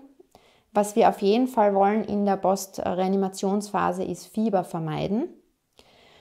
Und dann obliegt es im weiterführenden Setting dem Intensivmediziner oder der Intensivmedizinerin, ob man eine aktive Kühlung sozusagen fortführt, wo man als Ziel 34 Grad Körperkerntemperatur heranführen kann oder das Kind im Rahmen, also bei 36 Grad Körperkerntemperatur führt. Beides ist möglich, beides ist in den Guidelines aufgeführt. Der wichtige Punkt ist aber, Fieber in der Postreanimationsphase zu vermeiden. Hinsichtlich der Elektrolyte wollen wir auch ausgeglichene Elektrolytlagen haben und achten vor allem auf die Glucose. Wir wollen weder eine Hypo- noch eine Hyperglykämie, auch beim Kind. Gehen wir aber noch einmal zurück zu den Medikamenten. Medikamente während äh, und nach der Reanimation, aber jetzt in erster Linie während der Reanimation, kommen wir noch einmal zurück zum L-Adrenalin. Beim nicht schockbaren Rhythmus, die Dosierung ist immer die gleiche, 10 Mikrogramm pro Kilogramm, maximal 1 Milligramm. Nicht schockbarer Rhythmus, die Applikation so schnell als möglich. So schnell wie es mir machbar ist, einen IV- oder intraosären Zugang anlegen und dann das erste Adrenalin verabreichen. Die Wiederholung ist alle drei bis fünf Minuten. Im schockbaren Rhythmus wird das erste Adrenalin nach dem dritten Schock verabreicht und dann ebenfalls alle drei bis fünf Minuten wiederholt. Im schockbaren Rhythmus das Amiodaron, gleich wie das Adrenalin nach dem dritten Schock die erste Gabe, eine einmalige Wiederholung nach dem fünften Schock und dann ist dieses Medikament sozusagen aufgebraucht und aufgesättigt. Ich kann Lidocain als Alternative zu Amiodaron verwenden mit der Dosierung 1 Milligramm pro Kilo die Guidelines sagen, ich soll dieses Medikament verwenden, also entweder Amiodaron oder Lidocain, mit dem ich die meiste Erfahrung habe.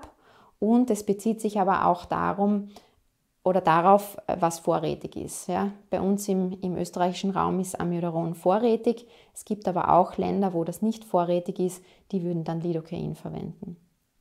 Atropin hat keine relevante Indikation beim kindlichen Herz-Kreislauf-Stillstand. Und die weiteren Medikamente, die relevant sind, ist zum Beispiel Magnesium. Das hat keine Routineanwendung in der Reanimation, außer bei einer dokumentierten Hypomagnesiämie oder bei einer Torsate-Point-Tachykardie. Calcium ebenfalls keine Routineanwendung, außer ich habe eine dokumentierte Hypokalziämie, eine Intoxikation mit Calciumkanalblockern, eine Hypermagnesiämie oder eine Hyperkaliämie. Bei Bicarbonat gibt es auch eine Änderung, das hat keine Routineanwendung. Und bisher war es so, dass bei länger dauernden Reanimationen oder bei schwerer Azidose und hämodynamischer Instabilität das empfohlen war. Die aktuellen Empfehlungen lauten so, dass es keine Routineanwendung ist und eingesetzt werden soll bei Hyperkaliämie oder in einer Intoxikation mit trizyklischen Antidepressiva. Das heißt, die länger dauernde Reanimation ist keine automatische sozusagen Freigabeanwendung für Bicarbonat. Noch ein paar Worte zur Defibrillation. Wie bisher auch schon gehandhabt, äh, sollten hauptsächlich selbstklebende Pads bei den Kindern verwendet werden. Bevorzugt ist die anterolaterale Position, aber alternativ stellen wir uns den kleinen Säugling vor, da ist es nicht möglich, die Pads anterolateral anzubringen. Da ist die Alternative ein anterior-posteriorer Zugang. Die Pads beim Kind dürfen sich nicht äh, berühren oder überlappen. Entsprechend kommt es dann oft zur Anwendung der anterior-posterioren Position. Etwas, was es bisher auch schon gegeben hat, aber noch einmal explizit aufgeführt ist, ist das Kind, das monitorisiert ist monitorisiert, einen Herz-Kreislauf-Stillstand erleidet, abflimmert oder eine pulslose VD hat, dann habe ich die Möglichkeit, diese Strategie nennt sich Stacked Shocks oder Three Shocks First Approach, dass ich sofort, bevor ich noch mit der Herzdruckmassage anfange, wenn ein Defibrillator unmittelbar zur Stelle ist, sofort drei Schocks abgebe und dann in das Reanimationsszenario übergehe. Beim Kind ist die ideale Schockenergiedosierung nicht bekannt. So ehrlich muss man sein. Die Empfehlungen gehen weiterhin äh, dass man mit 4 Joule pro Kilo wie bisher auch starten soll. Sollten aber mehr als 5 Schocks bei einer refraktären ähm, VD oder Kammerflimmern notwendig sein, dann kann man den Schock eskalieren bis hin zu 8 Joule pro Kilogramm. Man würde natürlich niemals über die Erwachsenenempfehlungen drüber gehen, das versteht sich von selbst. Und ein wichtiger Punkt sind immer wieder aufgeführt, keine Unterbrechungen, kurze Hands-off-Zeiten, das heißt während des Ladevorgangs weitere Herzdruckmassage und erst bevor der Schock ausgelöst wird, Hands-off und das Kind defibrillieren. Ich darf für Sie zusammenfassen, der wichtigste Grund für den kindlichen Herz-Kreislauf-Stillstand ist die Hypoxie die im Vordergrund steht. Die Defibrillation startet mit 4 Joule pro Kilo, kann aber eskaliert werden bis 8 Joule pro Kilo beim refraktären äh, Kammerflimmern oder pulslosen VD. Die endotracheale Intubation bleibt der Goldstandard für die Atemwegssicherung im pädiatrischen Advanced Life Support. Ich muss Atemwegsalternativen vorhalten und verwenden können. Der intraosäre Zugang gilt weiterhin als Alternativzugang zum IV-Zugang. Medikamentöse Therapien, so wie wir sie aufgeführt haben, hauptsächlich Adrenalin und Amiodaron beim schockbaren Rhythmus und Adrenalin im nicht schockbaren Rhythmus. Wir denken rasch an die reversiblen Ursachen, behandeln diese während und nach der Reanimation. Und man muss ehrlicherweise sagen, es gibt noch relativ wenig Evidenz für das Vorgehen beim positiv reanimierten Kind mit Spontankreislauf. Was haben die Richtlinien etabliert? Es gibt sogenannte Poster und Key Messages, die ich für Sie noch einmal aufführen möchte. Was hat sich verändert? Der wichtige Punkt am Anfang, das kritisch kranke Kind noch nicht reanimationspflichtig. Wir sollen unbedingt diesen ABCDE-Approach verwenden, anwenden, um das Kind zu erkennen, das kritisch kranke Kind und auch entsprechend zu behandeln. Einen ganz großen Stellenwert bekommt äh, der Aspekt des Teamworks. Wenn das Kind kritisch krank ist oder aber positiv reanimiert ist, dann wollen wir Sauer, den Sauerstoff äh, titrieren mit einer Zielsättigung von 94 bis 98 Prozent. Während der Reanimation gilt aber weiterhin ähm, Beatmung, Oxygenierung mit 100 Prozent Sauerstoff. Das kritisch kranke Kind im schockierten Zustand bei der Sepsis, da gibt es eine große Änderung, dass man weggeht von diesen 20, also vom Volumensmanagement, von den 20 Milliliter pro Kilogramm, sondern man sagt, man startet mit 10 Milliliter pro Kilogramm äh, Volumensmanagement einer kristalloiden Lösung, soll dann evaluieren und sozusagen immer in diesen 10 Milliliter pro Kilogramm Schritten fortführen. Das soll aber nicht dazu führen, dass man dem Kind Volumen vorenthält, das dieses braucht. Also auch weiterführend Kinder im Rahmen einer schweren Sepsis, äh, im Rahmen eines schwer schockierten Zustandsbildes können auch weiterhin bis zu 40, 60 Milliliter pro Kilogramm Volumen brauchen und sollen dies auch bekommen. Aber man startet in kleineren Schritten und man soll sehr früh mit vasoaktiven Substanzen arbeiten, Katecholamine, Inotropika einführen. Das ist ganz klar aufgeführt und das betrifft den Punkt ganz am Anfang, wo ich gesagt habe, dieses kritisch kranke Kind ist in diesen Guidelines ganz gut aufgeführt, ähm, septische Kinder, wie man mit den entsprechenden Krankheitsbildern im Rahmen einer noch nicht Reanimationssituation umgehen soll. Für den Basic Life Support bei Kindern gilt der 15 zu 2 Algorithmus, wenn ich trainiert bin, und für den Advanced Life Support das, äh, entsprechende, der entsprechende Algorithmus, den wir jetzt durchgearbeitet haben.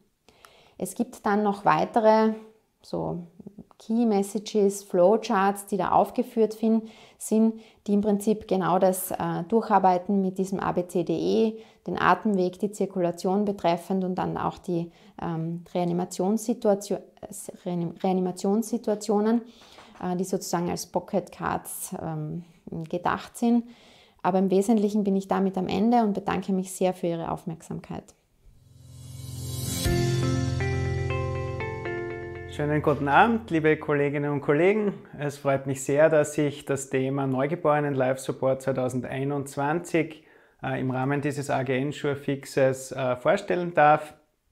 Mein Name ist Bernhard Schwaberger. Ich arbeite an den neonatologischen und pädiatrischen Intensivstationen an der Universitätsklinik für Kinder- und Jugendheilkunde in Graz. Es freut mich sehr, dass Sie bis zum Ende dabei geblieben sind, dass Sie sich auch für die Neugeborenenversorgung ähm, interessieren. Es ist sicherlich schon spät geworden mittlerweile und ähm, auf diese Weise ist es sehr schön, dass Sie äh, wirklich Interesse an der Neugeborenenmedizin auch haben, weil es natürlich auch in der Präklinik relevant sein kann. Sie ist zwar selten notwendig, ein Neugeborenes wirklich entsprechend versorgen zu müssen, aber umso seltener ein Ereignis ist, umso besser ist es natürlich, wenn man sich schon vorab damit beschäftigt. Es gibt für jede Form eines Notfalles ein, äh, eine Strategie, diesen Notfall oder dieses Szenario, was angsteinflößend ist, zu erledigen. Es kann so ein Device sein, für uns in der Notfallmedizin wird es natürlich eher ein Algorithmus sein, eine Handlungsempfehlung, auf die wir dann in einer emotional schwierigen Situation zurückgreifen können. Und auf diese Weise werden wir dann einen neugeborenen Notfall bestmöglich versorgen, wenn wir eben den ERC-Algorithmus für die Neugeborenen im Kopf haben. Nachdem ich heute schon der Letzte bin, der sein Thema vorstellen darf, brauche ich auf die Unterschiede ähm, oder auf die verschiedenen Reanimationsalgorithmen nicht wirklich eingehen. Äh, wir beschäftigen uns jetzt mit dem Neugeborenen-Algorithmus. Die Grenze zwischen Neugeborenen und pädiatrischen Algorithmus ist naturgemäß eher schwammig formuliert und der Hintergrund ist, äh, dass sich die Autoren ähm, und die internationalen, äh, nationalen Gesellschaften eigentlich nicht einigen können. Für Österreich gilt jedenfalls, dass das Kind das Neugeborene direkt nach der Geburt nach dem Neugeborenen-Algorithmus versorgt werden soll. Also das ist jenes Kind, das im Kreissaal zur Welt kommt und dort versorgt werden muss, zum Beispiel im Wochenbett, also einige Stunden später, wenn die Adaptation schon gut stattgefunden hat, dann würde schon der pädiatrische Live-Support anzuwenden sein. Das heißt also für den, Neu äh, für den Notarzt und, und für die Sanitäterinnen, ähm, dass der neugeborenen Algorithmus wirklich nur dann anzuwenden ist, wenn das Kind gerade geschlüpft ist, wenn die Geburt gerade stattgefunden hat. Der John Mader, der Erstautor der diesjährigen neugeborenen Leitlinien, hat äh, vor wenigen Tagen beim Kongress der ERC ähm, den Algorithmus erstmals vorgestellt und er hat da von der Evolution, but not Revolution gesprochen. Das heißt, der Algorithmus ist jetzt nicht vollkommen anders als der Algorithmus von 2015, aber er hat sich doch an einigen Stellen verändert und es sind einige Dinge dazugekommen. Äh, ein bisschen mehr ist dazugekommen, wenn man sich den Algorithmus anschaut. Und äh, aus Grazer Sicht natürlich sehr erfreulich, dass wir auch einen Grazer Co-Autor dieser Leitlinien haben mit dem Bernd Urlesberger, dem Abteilungsleiter der Abteilung für Neonatologie in Graz.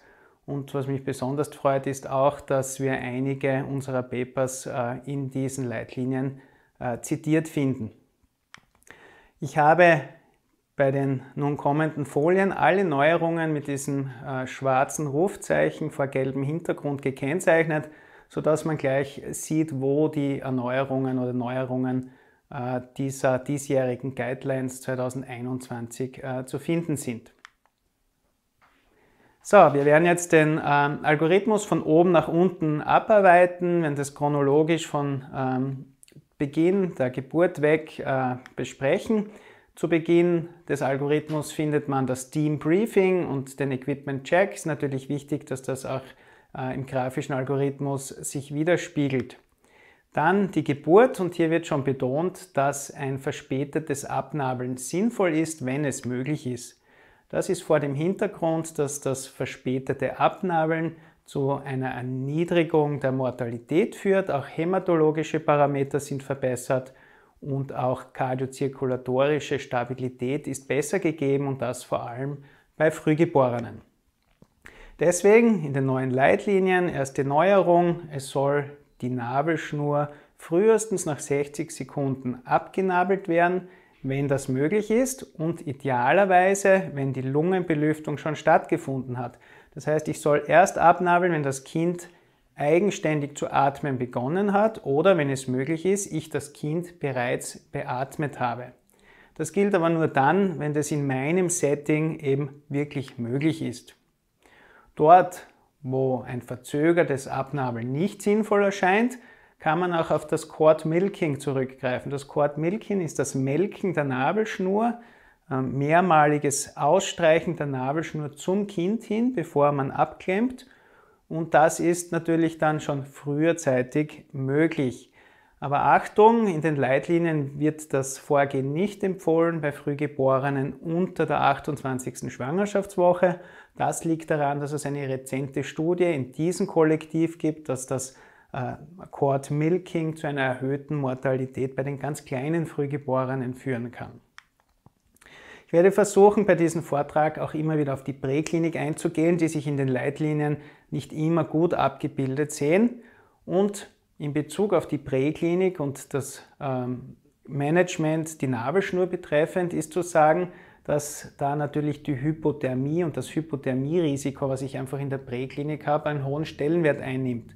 Das heißt, wenn ich mich für ein verzögertes Abnabeln entscheide, muss aber sichergestellt sein, dass ich durch das verzögerte Abnabeln keine Hypothermie auslöse, also dass das Wärmemanagement auch während dieser verzögerten Abnabelungszeit schon äh, forciert werden kann. Kommen jetzt zum nächsten Punkt. Äh, man sollte die Uhr starten, sozusagen, äh, dass man eine Abgaruhr einschaltet, dass ich weiß, wie viele Minuten von der Geburt entfernt ich mich gerade befinde. Ich soll dann das Kind natürlich abtrocknen, einwickeln, stimulieren, sehr wichtig, und auch an den Wärmeerhalt denken. Neu in diesen Richtlinien bzw. in der grafischen Abarbeitung des Handlungsbaumes ist jetzt auch, dass ganz links eine Spalte eingefügt wurde für die Frühgeborenen unter der 32. Schwangerschaftswoche. Und hier steht für dieses Kollektiv, dass man sie in ein Plastik einwickeln sollte und wenn ein Wärmestrahler vorhanden ist, das Kind äh, auch nicht abtrocknen sollte, weil sich dann unter dem Plastik so eine schöne, warme, feuchte Treibhausatmosphäre bildet. Das heißt, Wärmemanagement über den ganzen Algorithmus ähm, wichtig und das spiegelt sich eben im Sinne dieses äh, großen Pfeiles auf der rechten Seite wieder ganz klar in der Neonatologie bekannt und auch für die Präklinik essentiell. Umso kälter das Kind ist, umso höher ist die Mortalität, umso höher ist auch äh, die Morbidität. Das heißt, das Wärmemanagement ist natürlich ganz wichtig. Stimulation, auch ein ganz ein wichtiger Punkt. Ich möchte, dass das Kind zu atmen beginnt. Ich weiß auch, dass wenn das Kind spontan zu atmen beginnt, selbst wenn es eine Atemunterstützung braucht, diese Atemunterstützung dann besser sein wird. Mit anderen Worten, ein Kind, das überhaupt keine Spontanatmung zeigt, ist auch viel schwerer zu beatmen. Deswegen die Stimulation in der ersten Minute ein ganz ein wesentlicher Faktor, der eben die, den Atemantrieb steigert und auf diese Weise auch die Sauerstoffsättigung steigern wird. Ganz klar in Bezug aufs Wärmemanagement noch einmal äh, das Abtrocknen und ähm, ähm, das Einwickeln in Plastik. Da werden wir sehen, dass es da andere Überlegungen für die Präklinik gibt. Dann die Normothermie definiert so zwischen 36,5 und 37,5 Grad Celsius, in erster Linie rektal gemessen. Und äh, die Stimulation wird von den ERC äh, noch einmal ganz entscheidend betont. Jetzt wieder meine Überlegungen und Überlegungen in Bezug auf die Besonderheiten der Präklinik. Die Hypothermie ein ganz ein wesentlicher Faktor, wie gesagt. In der Präklinik haben wir jetzt äh, eine Situation, wo wir keinen Wärmestrahler haben. Das heißt, wir müssen das Kind zwar auch mit Plastik einwickeln, äh, aber wir sollten das Kind trotzdem vorher abtrocknen, um die Verdunstungskälte zu reduzieren. Und das gilt jetzt für die Präklinik nicht nur für die ganz kleinen Frühgeborenen, sondern auch für die späteren Frühgeborenen bis zur 37. Schwangerschaftswoche und möglicherweise auch vorteilhaft für alle Reifgeborenen, dass man sie auch in ein Plastik einwickelt. Es wird betont, dass das Kind-to-Skin-Kontakt sinnvoll ist, also zum Wärmeerhalt auf die Mutterbrust legen. Das nennt man auch äh, die Känguru-Methode. Ähm, und da gibt es immer sozusagen dann die Diskussion mit dem Fahrer, ob das wirklich die beste Möglichkeit ist, denn das Neugeborene ähm, zu transportieren. Aber jetzt vom Wärmeerhalt gesehen wäre das eine optimale Transportmöglichkeit. Wie wichtig diese Hypothermie-Prophylaxe oder alle Maßnahmen, die eben einer Hypothermie entgegenwirken sollen, sind, zeigt diese kleine Fallserie aus Graz. Das sind alles Neugeborene, die vom Notarzt versorgt wurden, die wirklich auch eine Beatmung oder sogar Herzdruckmassage benötigten und dann an der Neonatologie in Graz aufgenommen werden mussten. Und wenn man da auf die Temperatur schaut, dann äh, waren die Kinder schon wirklich sehr hypotherm, im Durchschnitt bei 32 Grad Celsius. Die niedrigste gemessene Temperatur ist sogar bei 28 Grad gelegen. Also ein ganz ein äh, wesentlicher Faktor, der nachweislich auch wirklich die Mortalität beeinflusst, ist diese Hypothermie. Jetzt geht es weiter. Jetzt geht es darum, das Kind zu beurteilen. Da muss man gleich vorweg sagen, der APGAR-Score hat in der Akutsituation, um die Reanimation zu steuern, überhaupt keinen Stellenwert. Der ist retrospektiv von Bedeutung, weil ich äh, natürlich den APGAR in der Dokumentation ähm, äh, dokumentieren muss. Aber für die Akutsituation hat man sich geeinigt, dass drei Parameter entscheidend sind. Einerseits der Muskeltonus, andererseits die Atmung und als drittes und ganz wesentlicher Punkt auch die Herzfrequenz.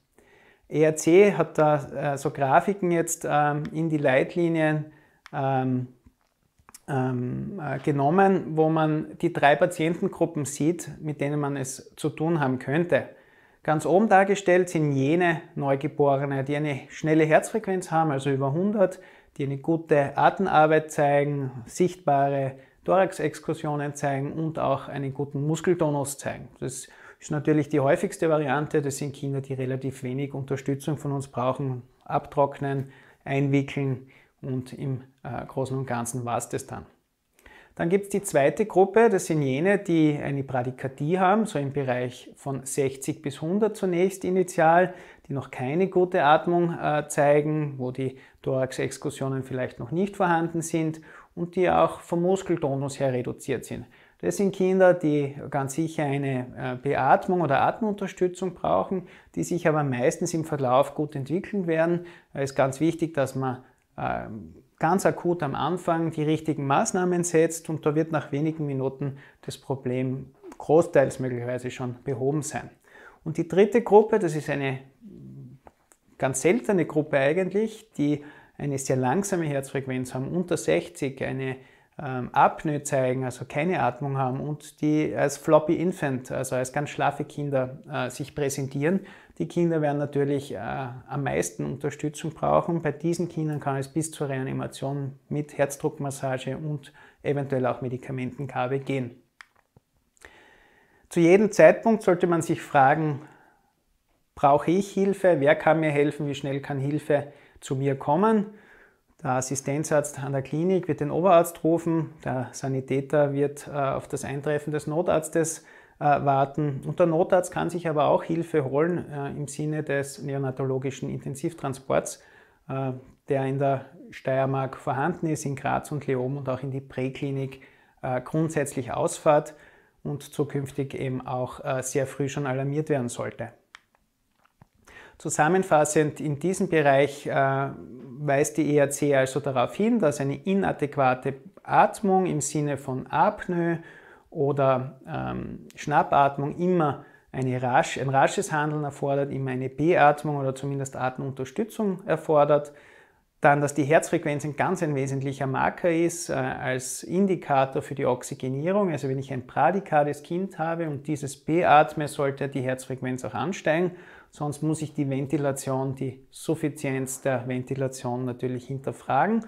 Und auf das Monitoring wird ja auch hingewiesen, ein Pulsoximeter sollte Standard sein, ein EKG hilft sehr bei sehr schlechten Bradikadenkindern, äh, um eben Herzfrequenz und Oxygenierung äh, zu beurteilen. Wie geht es im Algorithmus weiter? Ich, ich, äh, wenn, das, äh, wenn die Atmung inadäquat ist, muss man den Atemweg öffnen. Da haben die äh, neuen Leitlinien, diese zwei schönen Grafiken. Ähm, auf der einen Seite ist natürlich die Neutralposition jene Position, äh, in der der Atemweg geöffnet ist, links dargestellt die Flexion, rechts dargestellt die Extension, äh, also die Neutralposition oder Schnüffelstellung im Deutschen, wo wirklich die Maske, die ich an den äh, Mund des Kindes presse, Mund und Nase des Kindes presse, wirklich parallel zur Unterlage sein sollte. Und unten äh, die zwei Bilder dargestellt, das ist der S-Mach-Handgriff, der Jawlift, auf Englisch, äh, der auch die, äh, das, die Vergrößerung des pharyngealen Raumes erreicht. Ähm, das ganz, ein, ein, ganz e-, essentieller Mechanismus auch bei der Maskenbeatmung, dass ich sozusagen das Unterkiefer zur Maske hin anhebe. Auf diese Weise wird der Atemweg geöffnet und auf diese Weise wird eine Ventilation möglich sein. Wie geht es weiter? Beim Kind, das jetzt Schnappatmung oder keine Atmung zeigt, muss ich diese Five Inflations, fünf äh, Beatmungen äh, initial durchführen.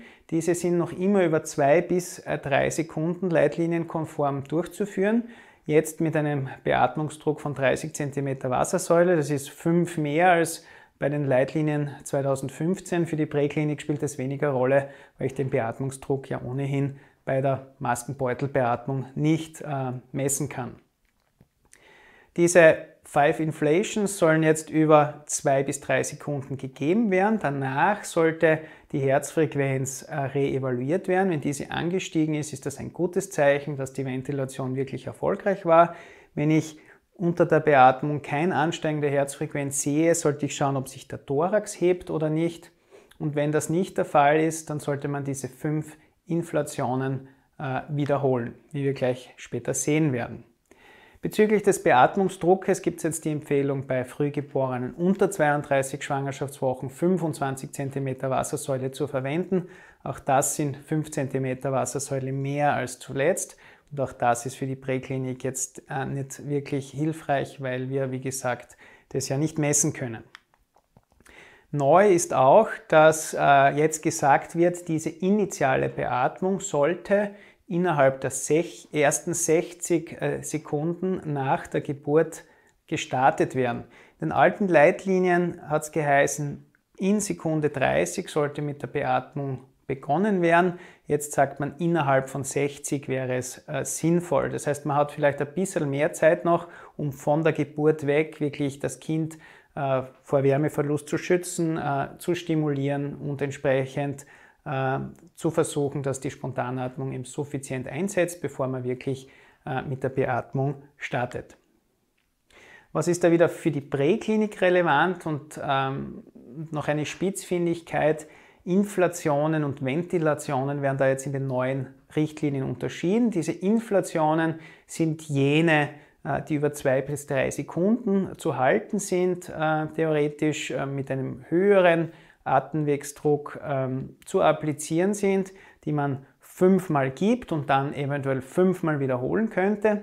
Aber alle weiteren Ventilationen werden die dann genannt, die sollten dann über eine Inspirationsdauer kleiner einer Sekunde äh, äh, erfolgen und die sind auch vom Druck her dann nicht mehr ganz so hoch äh, anzusetzen. Das heißt, eine äh, Unterscheidung in der Nomenklatur zwischen Inflationen und Ventilationen. Da bin ich schon neugierig, wie das die äh, deutschen Übersetzer in die deutschen Richtlinien übertragen, weil im Deutschen gibt es da jetzt äh, nicht so eine gute Unterscheidung eigentlich. Und dann ganz wichtig für die Präklinik relevant ist, dass ich diese Play-Manöver, wenn man es so nennen möchte, wobei es nur über zwei bis drei Sekunden äh, äh die Inspirationszeit ist, äh, dass ich die mit der Maskenbeutelbeatmung, die ja der Standard in der Präklinik noch äh, ist, äh, oft nur sehr schwer durchführen kann. Also bei einem relativ hohen Maskengleck, wie man es beim Neugeborenen in so einer stressigen Situation häufig haben wird, wird man diese Inspirationszeit über zwei bis drei Sekunden nicht so gut halten können, möglicherweise. Und dann würde es sich wahrscheinlich empfehlen, das steht jetzt so nicht in den Leitlinien, aber dass man kürzere, aber effektive Beatmungen häufiger durchführt, auch in der initialen Phase. Das heißt, man starte mit, dem, äh, mit der Atemunterstützung, sobald erkannt wurde, dass die Atmung insuffizient ist. Das Monitoring mit Pulsoximeter und EKG wird hier noch einmal betont und die Wichtigkeit, dass die Herzfrequenz und die Thoraxhebungen und auch die Qualität der Atmung die weiteren Reanimationsschritte entsprechend steuert. Ein wichtiger Punkt, der im Handlungsalgorithmus jetzt nicht abgebildet ist, ähm, ist im Prinzip 2015 ähnlich auch schon gesagt worden, ist, dass dieser Meconium-Algorithmus, den es früher gegeben hat, dass der nicht mehr existent ist. Das bedeutet, ein Kind, das möglicherweise Meconium aspiriert hat, wird ganz gleich versorgt äh, nach den äh, gleichen Handlungsempfehlungen wie entsprechend ein Kind ohne missfärbigen Fruchtwasser und ohne Aspiration. Das heißt kein Absaugen, wenn es äh, keine offensichtliche Atemwegsverlegung durch Sekret gibt, vor allem auch nicht ein endotracheales Einstellen, sondern äh, Start der Beatmung äh, ab dem Zeitpunkt, wo sie möglich und indiziert ist. Das bedeutet auch, ähm, dass eben das endotracheale Einstellen, so wie es früher durchgeführt worden ist, wirklich vom Tisch ist, weil es einfach gute Studien gibt, dass die Asphyxie relevanter ist als die Mekoniumaspiration. Die Kinder, die Neugeborenen, die sterben heutzutage nicht oder nur mehr ganz, ganz selten an einer Mekoniumaspiration und äh, die Asphyxie ist natürlich äh, ein Leben lang relevant oder kann zum Tode führen. Gut, jetzt gehen wir im Algorithmus weiter. Da steht dann ein Punkt für Frühgeborene. Man sollte einen CBAP erwägen, also eine Atemunterstützung mittels äh, CBAP. Und das ist in der Präklinik wiederum sehr schwer umsetzbar. Wir haben zwar Beutelmaskenbeatmung mit Piepventil möglicherweise so wie dargestellt. Dieser Darstellung übrigens sollte man das ähm, Überdruckventil natürlich öffnen, wenn man damit am Neugeborenen hantiert. Bezug auf das Piepventil, ja, das Piepventil ist in der Lage, am Ende der Expiration einen gewissen Druck in den Lungen zu halten. Man weiß, dass man es ein bisschen höher einstellen sollte, um einen empfohlenen Piep von 5 bis 6 zu erzielen, wird man 8, äh, vielleicht sogar 9 einstellen müssen. Aber das große Problem ist, dass der CBAP ja an sich ähm, eine Atemunterstützung des spontan atmenden Kindes ist und ein Neugeborenes mit Atemnot spontan am Beutel ähm, einen, äh, so ein Kind an den Beutel zu nehmen, dass er spontan am Beutel atmet, das ist nicht möglich, weil äh, im D-Stück ein Ventil drinnen ist, das die Kinder äh, nicht öffnen können. Der inspiratorische Flow in der Atemnotsituation des Neugeborenen reicht möglicherweise nicht, dieses Ventil zu öffnen. Auf diese Weise würde das Kind an der Maske äh, als spontan atmendes Kind ersticken. Was man dann machen muss, ist natürlich eine assistierte Beatmung. Also man muss den Beutel zusammendrücken, um eben Luft oder auch Sauerstoff in das Kind zu beatmen in der Phase der Inspiration. Also es erfordert eine Synchronisation mit der Eigenatmung, eine assistierte Beatmung und nur so kann ich an sich das Piepventil beim spontan atmenden Kind nutzen. Also kein echter CPAP, aber eine Atemunterstützung in Form einer assistierten Beatmung mit Piepventil ist möglich. Was ist mit einem CPAP über die ähm, Respiratoren, die Notfallsrespiratoren, die auf den Notfallwegen vorhanden sind? Das muss man ganz klar ablehnen. Diese Devices sind nicht zugelassen fürs Frühgeborene und Neugeborene und es funktioniert nicht entsprechend. Äh, das darf man also bei den meisten Respiratoren nicht machen. Was gäbe es noch? Es gäbe noch die DB-Systeme, die man auch innerklinisch verwendet. Die funktionieren gut, die sind präklinisch noch nicht etabliert. Es gibt jetzt Hersteller, die den, äh, auf den Markt gekommen sind mit Einmalprodukten. Ähm, die scheinen gut zu funktionieren. Es gibt aber noch keine Studien, die belegen, dass das gut funktioniert. Man weiß noch nicht, wie beispielsweise Sanitäter mit so etwas umgehen würden. Und da muss man die Forschung noch ein bisschen abarbeiten, äh, bis man das wirklich einführen kann in der Präklinik. Äh, wir selber machen auch gerade eine Studie, die da helfen soll, dass wir diese Devices in die Präklinik bringen, weil aus unserer Sicht es sehr sinnvoll wäre. Gut, Key Evidence und die wichtigsten Messages von der ERC. Die meisten Babys, die brauchen wenig Unterstützung, maximal ein bisschen eine Atemunterstützung, das Öffnen des Atemweges, das sind so die häufigsten Maßnahmen. Die meisten Kinder brauchen nicht wirklich mehr. Die das Atemwegsmanagement und gegebenenfalls bei Sekret einmal ein einmaliges Absaugen beispielsweise. Das sind Maßnahmen, die häufiger notwendig sind. Alles, was darüber hinausgeht, ist eher selten. Das CEBA beim Frühgeborenen sinnvoll, aber in der Präklinik schwer umsetzbar, wie gesagt. Und die meisten Kinder, äh, da reicht es eigentlich, wenn man ihnen Sauerstoff ähm, oder Luft anbietet, also mit 21% Sauerstoff, wie wir gleich sehen werden. Das heißt, wie geht es weiter? Wenn ich jetzt sehe, dass sich der Brustkorb nicht hebt bei der Ventilation, dann sind die, diversen Maßnahmen zu treffen, um eben das Atemwegsmanagement zu verbessern. Die Zweihelfermethode, Maskenwechsel, Kopfposition, Essmach, Handgriff und diese Dinge, die wir teilweise schon angesprochen haben. Das Absaugen eher zurückhaltend einsetzen, aber wenn notwendig natürlich unter Sicht absaugen.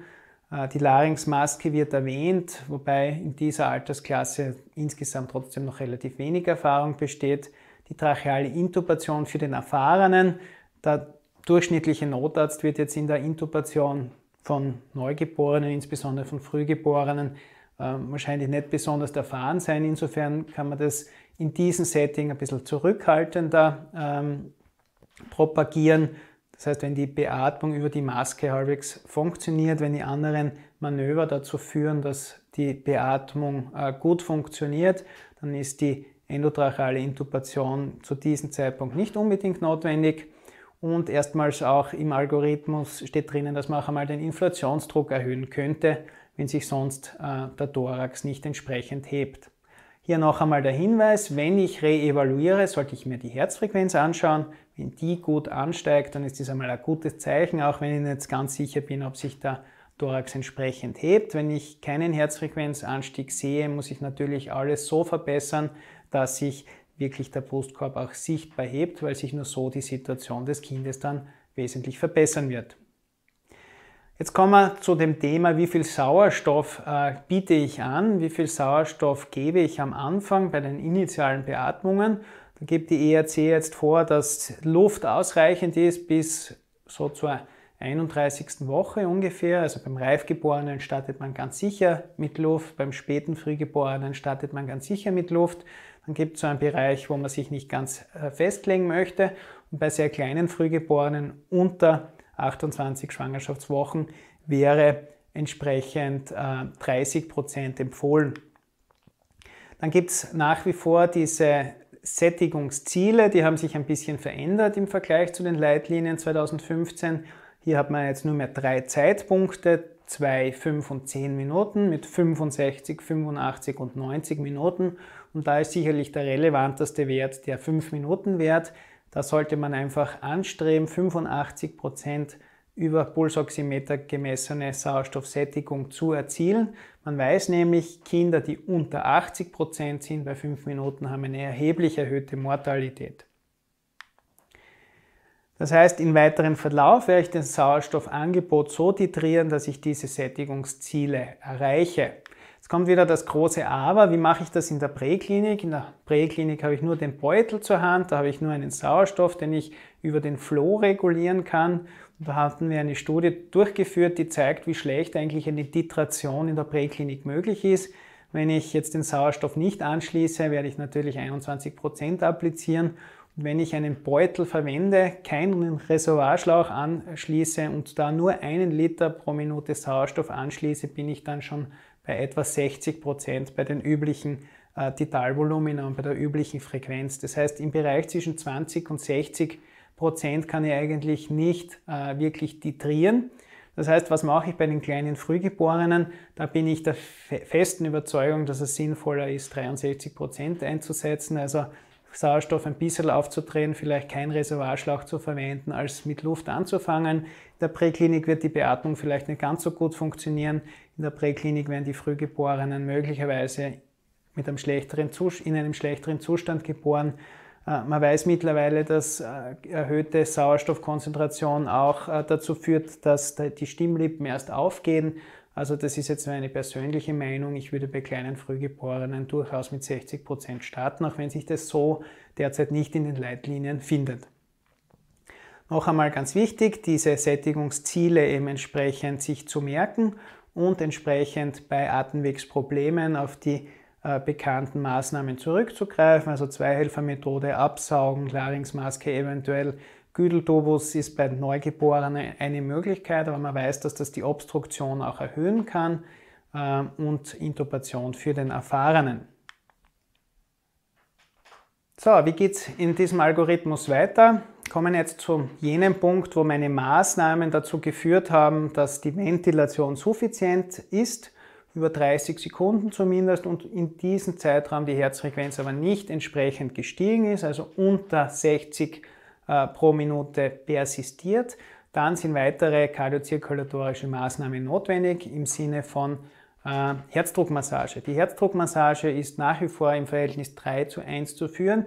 Erstmals steht ganz klar, dass selbst bei Intubation diese Koordination zwischen äh, Herzdruckmassage und Ventilation durchgeführt werden soll. Also nicht wie beim Erwachsenen, auch vor dem Hintergrund, dass man Tuben hat, die ja nicht kaufbar sind in aller Regel, soll man das 3 zu 1 Verhältnis auch beim intubierten Kind fortführen. Neu ist auch, dass man sagt, auf 100% Sauerstoff fix drehen, sobald ich mit der Herzdruckmassage anfange. Und hier wird auch noch einmal die Intubation ins Spiel gebracht. Ist natürlich sinnvoll, aber nur für den kompetenten, erfahrenen äh, Provider und äh, in solchen Situationen, in der Präklinik, in so einer Situation äh, kann man natürlich nicht davon ausgehen, dass dort ein sehr erfahrener neugeborenen Intubateur diesen Notfall handeln muss. Alle 30 Sekunden wird die Herzfrequenz spätestens wieder beurteilt und es wird von den Leitlinien her ganz klar betont, dass eine Herzdruckmassage nur dann zielführend ist, wenn eine Ventilation eben suffizient durchgeführt werden kann. Wenn die Herzfrequenz trotz Herzdruckmassage und suffizienter Ventilation nicht ansteigt und äh, sehr niedrig unter 60 bleibt, dann ist der Zeitpunkt gekommen, wo man über einen Zugang nachdenken muss. Der Zugang kann jetzt, das ist neu in den Leitlinien, nicht nur über den Nabelvenenkatheter erfolgen, sondern es ist erstmals jetzt auch der intraosäre Katheter genannt. Die Neonatologen bevorzugen da eher natürlich den äh, Nabelvenenkatheter, aber für den ähm, erfahrenen Notarzt oder im Umgang mit dem äh, Intraosär-Bohrer erfahrenen Notarzt wird dieser wahrscheinlich eher zu den intraosären Devices äh, greifen. Was ist zu den Medikamenten zu sagen? Adrenalin ist nach wie vor auch in der Neugeborenenmedizin das äh, Medikament Nummer 1, nach wie vor in der Dosierung 10 bis 30 Mikrogramm. In den neuen Leitlinien äh, gibt es ein Revival der intratrachealen Gabe, also die wird jetzt wieder erwähnt. Und erstmals in den Leitlinien ist auch definiert, wie oft man Adrenalin geben sollte. Äh, nämlich zwischen drei und fünf Minuten äh, sollte es wiederholt werden. Das entspricht also den äh, pädiatrischen und auch den Erwachsenen-Guidelines, findet sich aber hier in den neugeborenen Leitlinien nun zum ersten Mal. Ist aber nicht mit Evidenz begründet, sondern als Angleichung an alle anderen Algorithmen mehr oder weniger. Und eine weitere Neuerung ist, dass erstmals auch Glucose als Medikament während der Reanimation geführt wird. Das liegt daran, dass Frühgeborene durchaus zu Hypoglykämie neigen, auch Reifgeborene mit mütterlichen Diabetes beispielsweise. Und in protrahierten Situationen, wenn ein Zugang gelegt wird, sollte ich dann entsprechend auch Glucose applizieren. Ein weiterer Punkt, äh, genauso wie in allen Algorithmen, ist, dass man äh, reversible Ursachen erwägen sollte oder äh, entsprechend äh, beispielsweise einen Pneumothorax oder eine Hypovolemie äh, evaluieren und entsprechend therapieren sollte.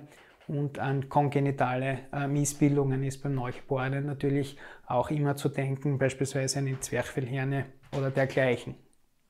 Das letzte Punkt des Algorithmus ist ähm, das Gespräch mit den Eltern und auch äh, das Gespräch mit dem Team, was kann man besser machen, was ist nicht optimal gelaufen, das spiegelt sich auch im Algorithmus wieder. Und jetzt noch eine letzte Neuerung dieser neuen Leitlinien. In den alten Leitlinien ist ganz klipp und klar gestanden, Asystolie über 10 Minuten, da kann man abbrechen, äh, da ist ein Weiterführen der Reanimationsmaßnahmen zwecklos, das haben sie jetzt anders definiert. Sie schreiben jetzt, wenn über 10 bis 20 Minuten meine intensiven Reanimationsmaßnahmen zu keinem Erfolg führen, dann soll man mit den Eltern und äh, mit dem Team eben das Beenden der Maßnahmen diskutieren, weil einfach bei diesen Kindern die Prognose sehr, sehr, sehr schlecht sein wird, selbst wenn sie überleben. Also da ist von der Formulierung her eine Änderung. Damit bin ich schon am Ende und komme zu den fünf Top-Messages der ERC, den neugeborenen Algorithmus äh, betreffend. Da haben wir mal das Delayed Cord Clamping, also das verzögerte Abnabeln, das man äh, erwägen sollte, insbesondere auch beim Frühgeborenen. Wie gesagt, für die Präklinik ähm, mögen da andere Überlegungen in Bezug auf die Hypothermie vorrangig sein und das äh, Cord Milking vielleicht ein Thema sein. Dann wichtiger Punkt, das Kind äh, trocknen, äh, wärmen, stimulieren. Stimulation, wie gesagt, ganz essentiell. Dann bei Kindern äh, eben entsprechend Atmung und Herzfrequenz und Muskeltonus erheben. Und da noch einmal der Hinweis, dass wirklich die Herzfrequenz ein ganz wesentlicher Faktor ist und auf den man sich auch konzentrieren sollte. Aus diesem Grund sollte man eben auch Pulsoximeter und idealerweise auch EKG bei den äh, schlecht adaptierenden Kindern einsetzen. Vierter Punkt, den Sie erwähnen, ist, dass das Atemwegsmanagement und die Beatmung ganz im Fokus liegt und dass diese Maßnahmen meistens alle Probleme äh, behebt. Also die Luft muss in die Lunge, ist, äh, sagt man so schön, das ist das Wesentliche. Und alles weiterführende, die Herzdruckmassage ähm, oder die Medikamentengabe, ist nur in einem ganz kleinen Prozentsatz der Neugeborenen notwendig und ähm, nur dann eben, wenn trotz suffizienter Ventilation die Herzfrequenz wirklich niedrig bleibt. Ich danke dafür, dass Sie bis zum Ende dabei waren. Danke für das Interesse an den Neugeborenen. Ich stehe gern für Fragen äh, auch über E-Mail äh, zur Verfügung, werde auch versuchen, möglicherweise auf Facebook, falls da in den Kommentaren Fragen zur neugeborenen Algorithmus sind, diese möglicherweise ein bisschen zeitverzögert zu beantworten. Äh, und danke für die Aufmerksamkeit. Ja, vielen Dank allen Vortragenden und für diese sehr ausführlichen und umfassenden Darstellungen. Wir sehen, viel epochal Neues hat sich nicht getan. Es bleibt eigentlich ziemlich viel Wichtiges beim Alten. Wichtig ist die Herzdruckmassage, wichtig ist früh wie möglich Strom, die herzsuffiziente Herzdruckmassage und auch, wenn man sieht, ein Erbe-Management. Deswegen sollten wir danach trachten, dass Notärztinnen und Notärzte äh, unterwegs sind, die die 97 Prozent beim zweiten Versuch erfüllen, weil eine suffiziente Beatmung meiner Meinung nach ebenfalls essentiell ist am meisten hat sich, glaube ich, getan bei den Neugeborenen und Kindern. Auch hier noch vielen Dank an unsere Vortragenden. Ich habe gesehen, in den Chats sind die meisten Fragen schon beantwortet, sonst wurden auch E-Mail-Adressen angeboten. Also man kann auch hier Fragen stellen und Antworten suchen. Ansonsten noch einmal danke allen Vortragenden, allen Organisatoren und ich wünsche einen schönen Abend noch und bis zum nächsten AG im Dienstag im Mai. Schönen Abend noch. Danke.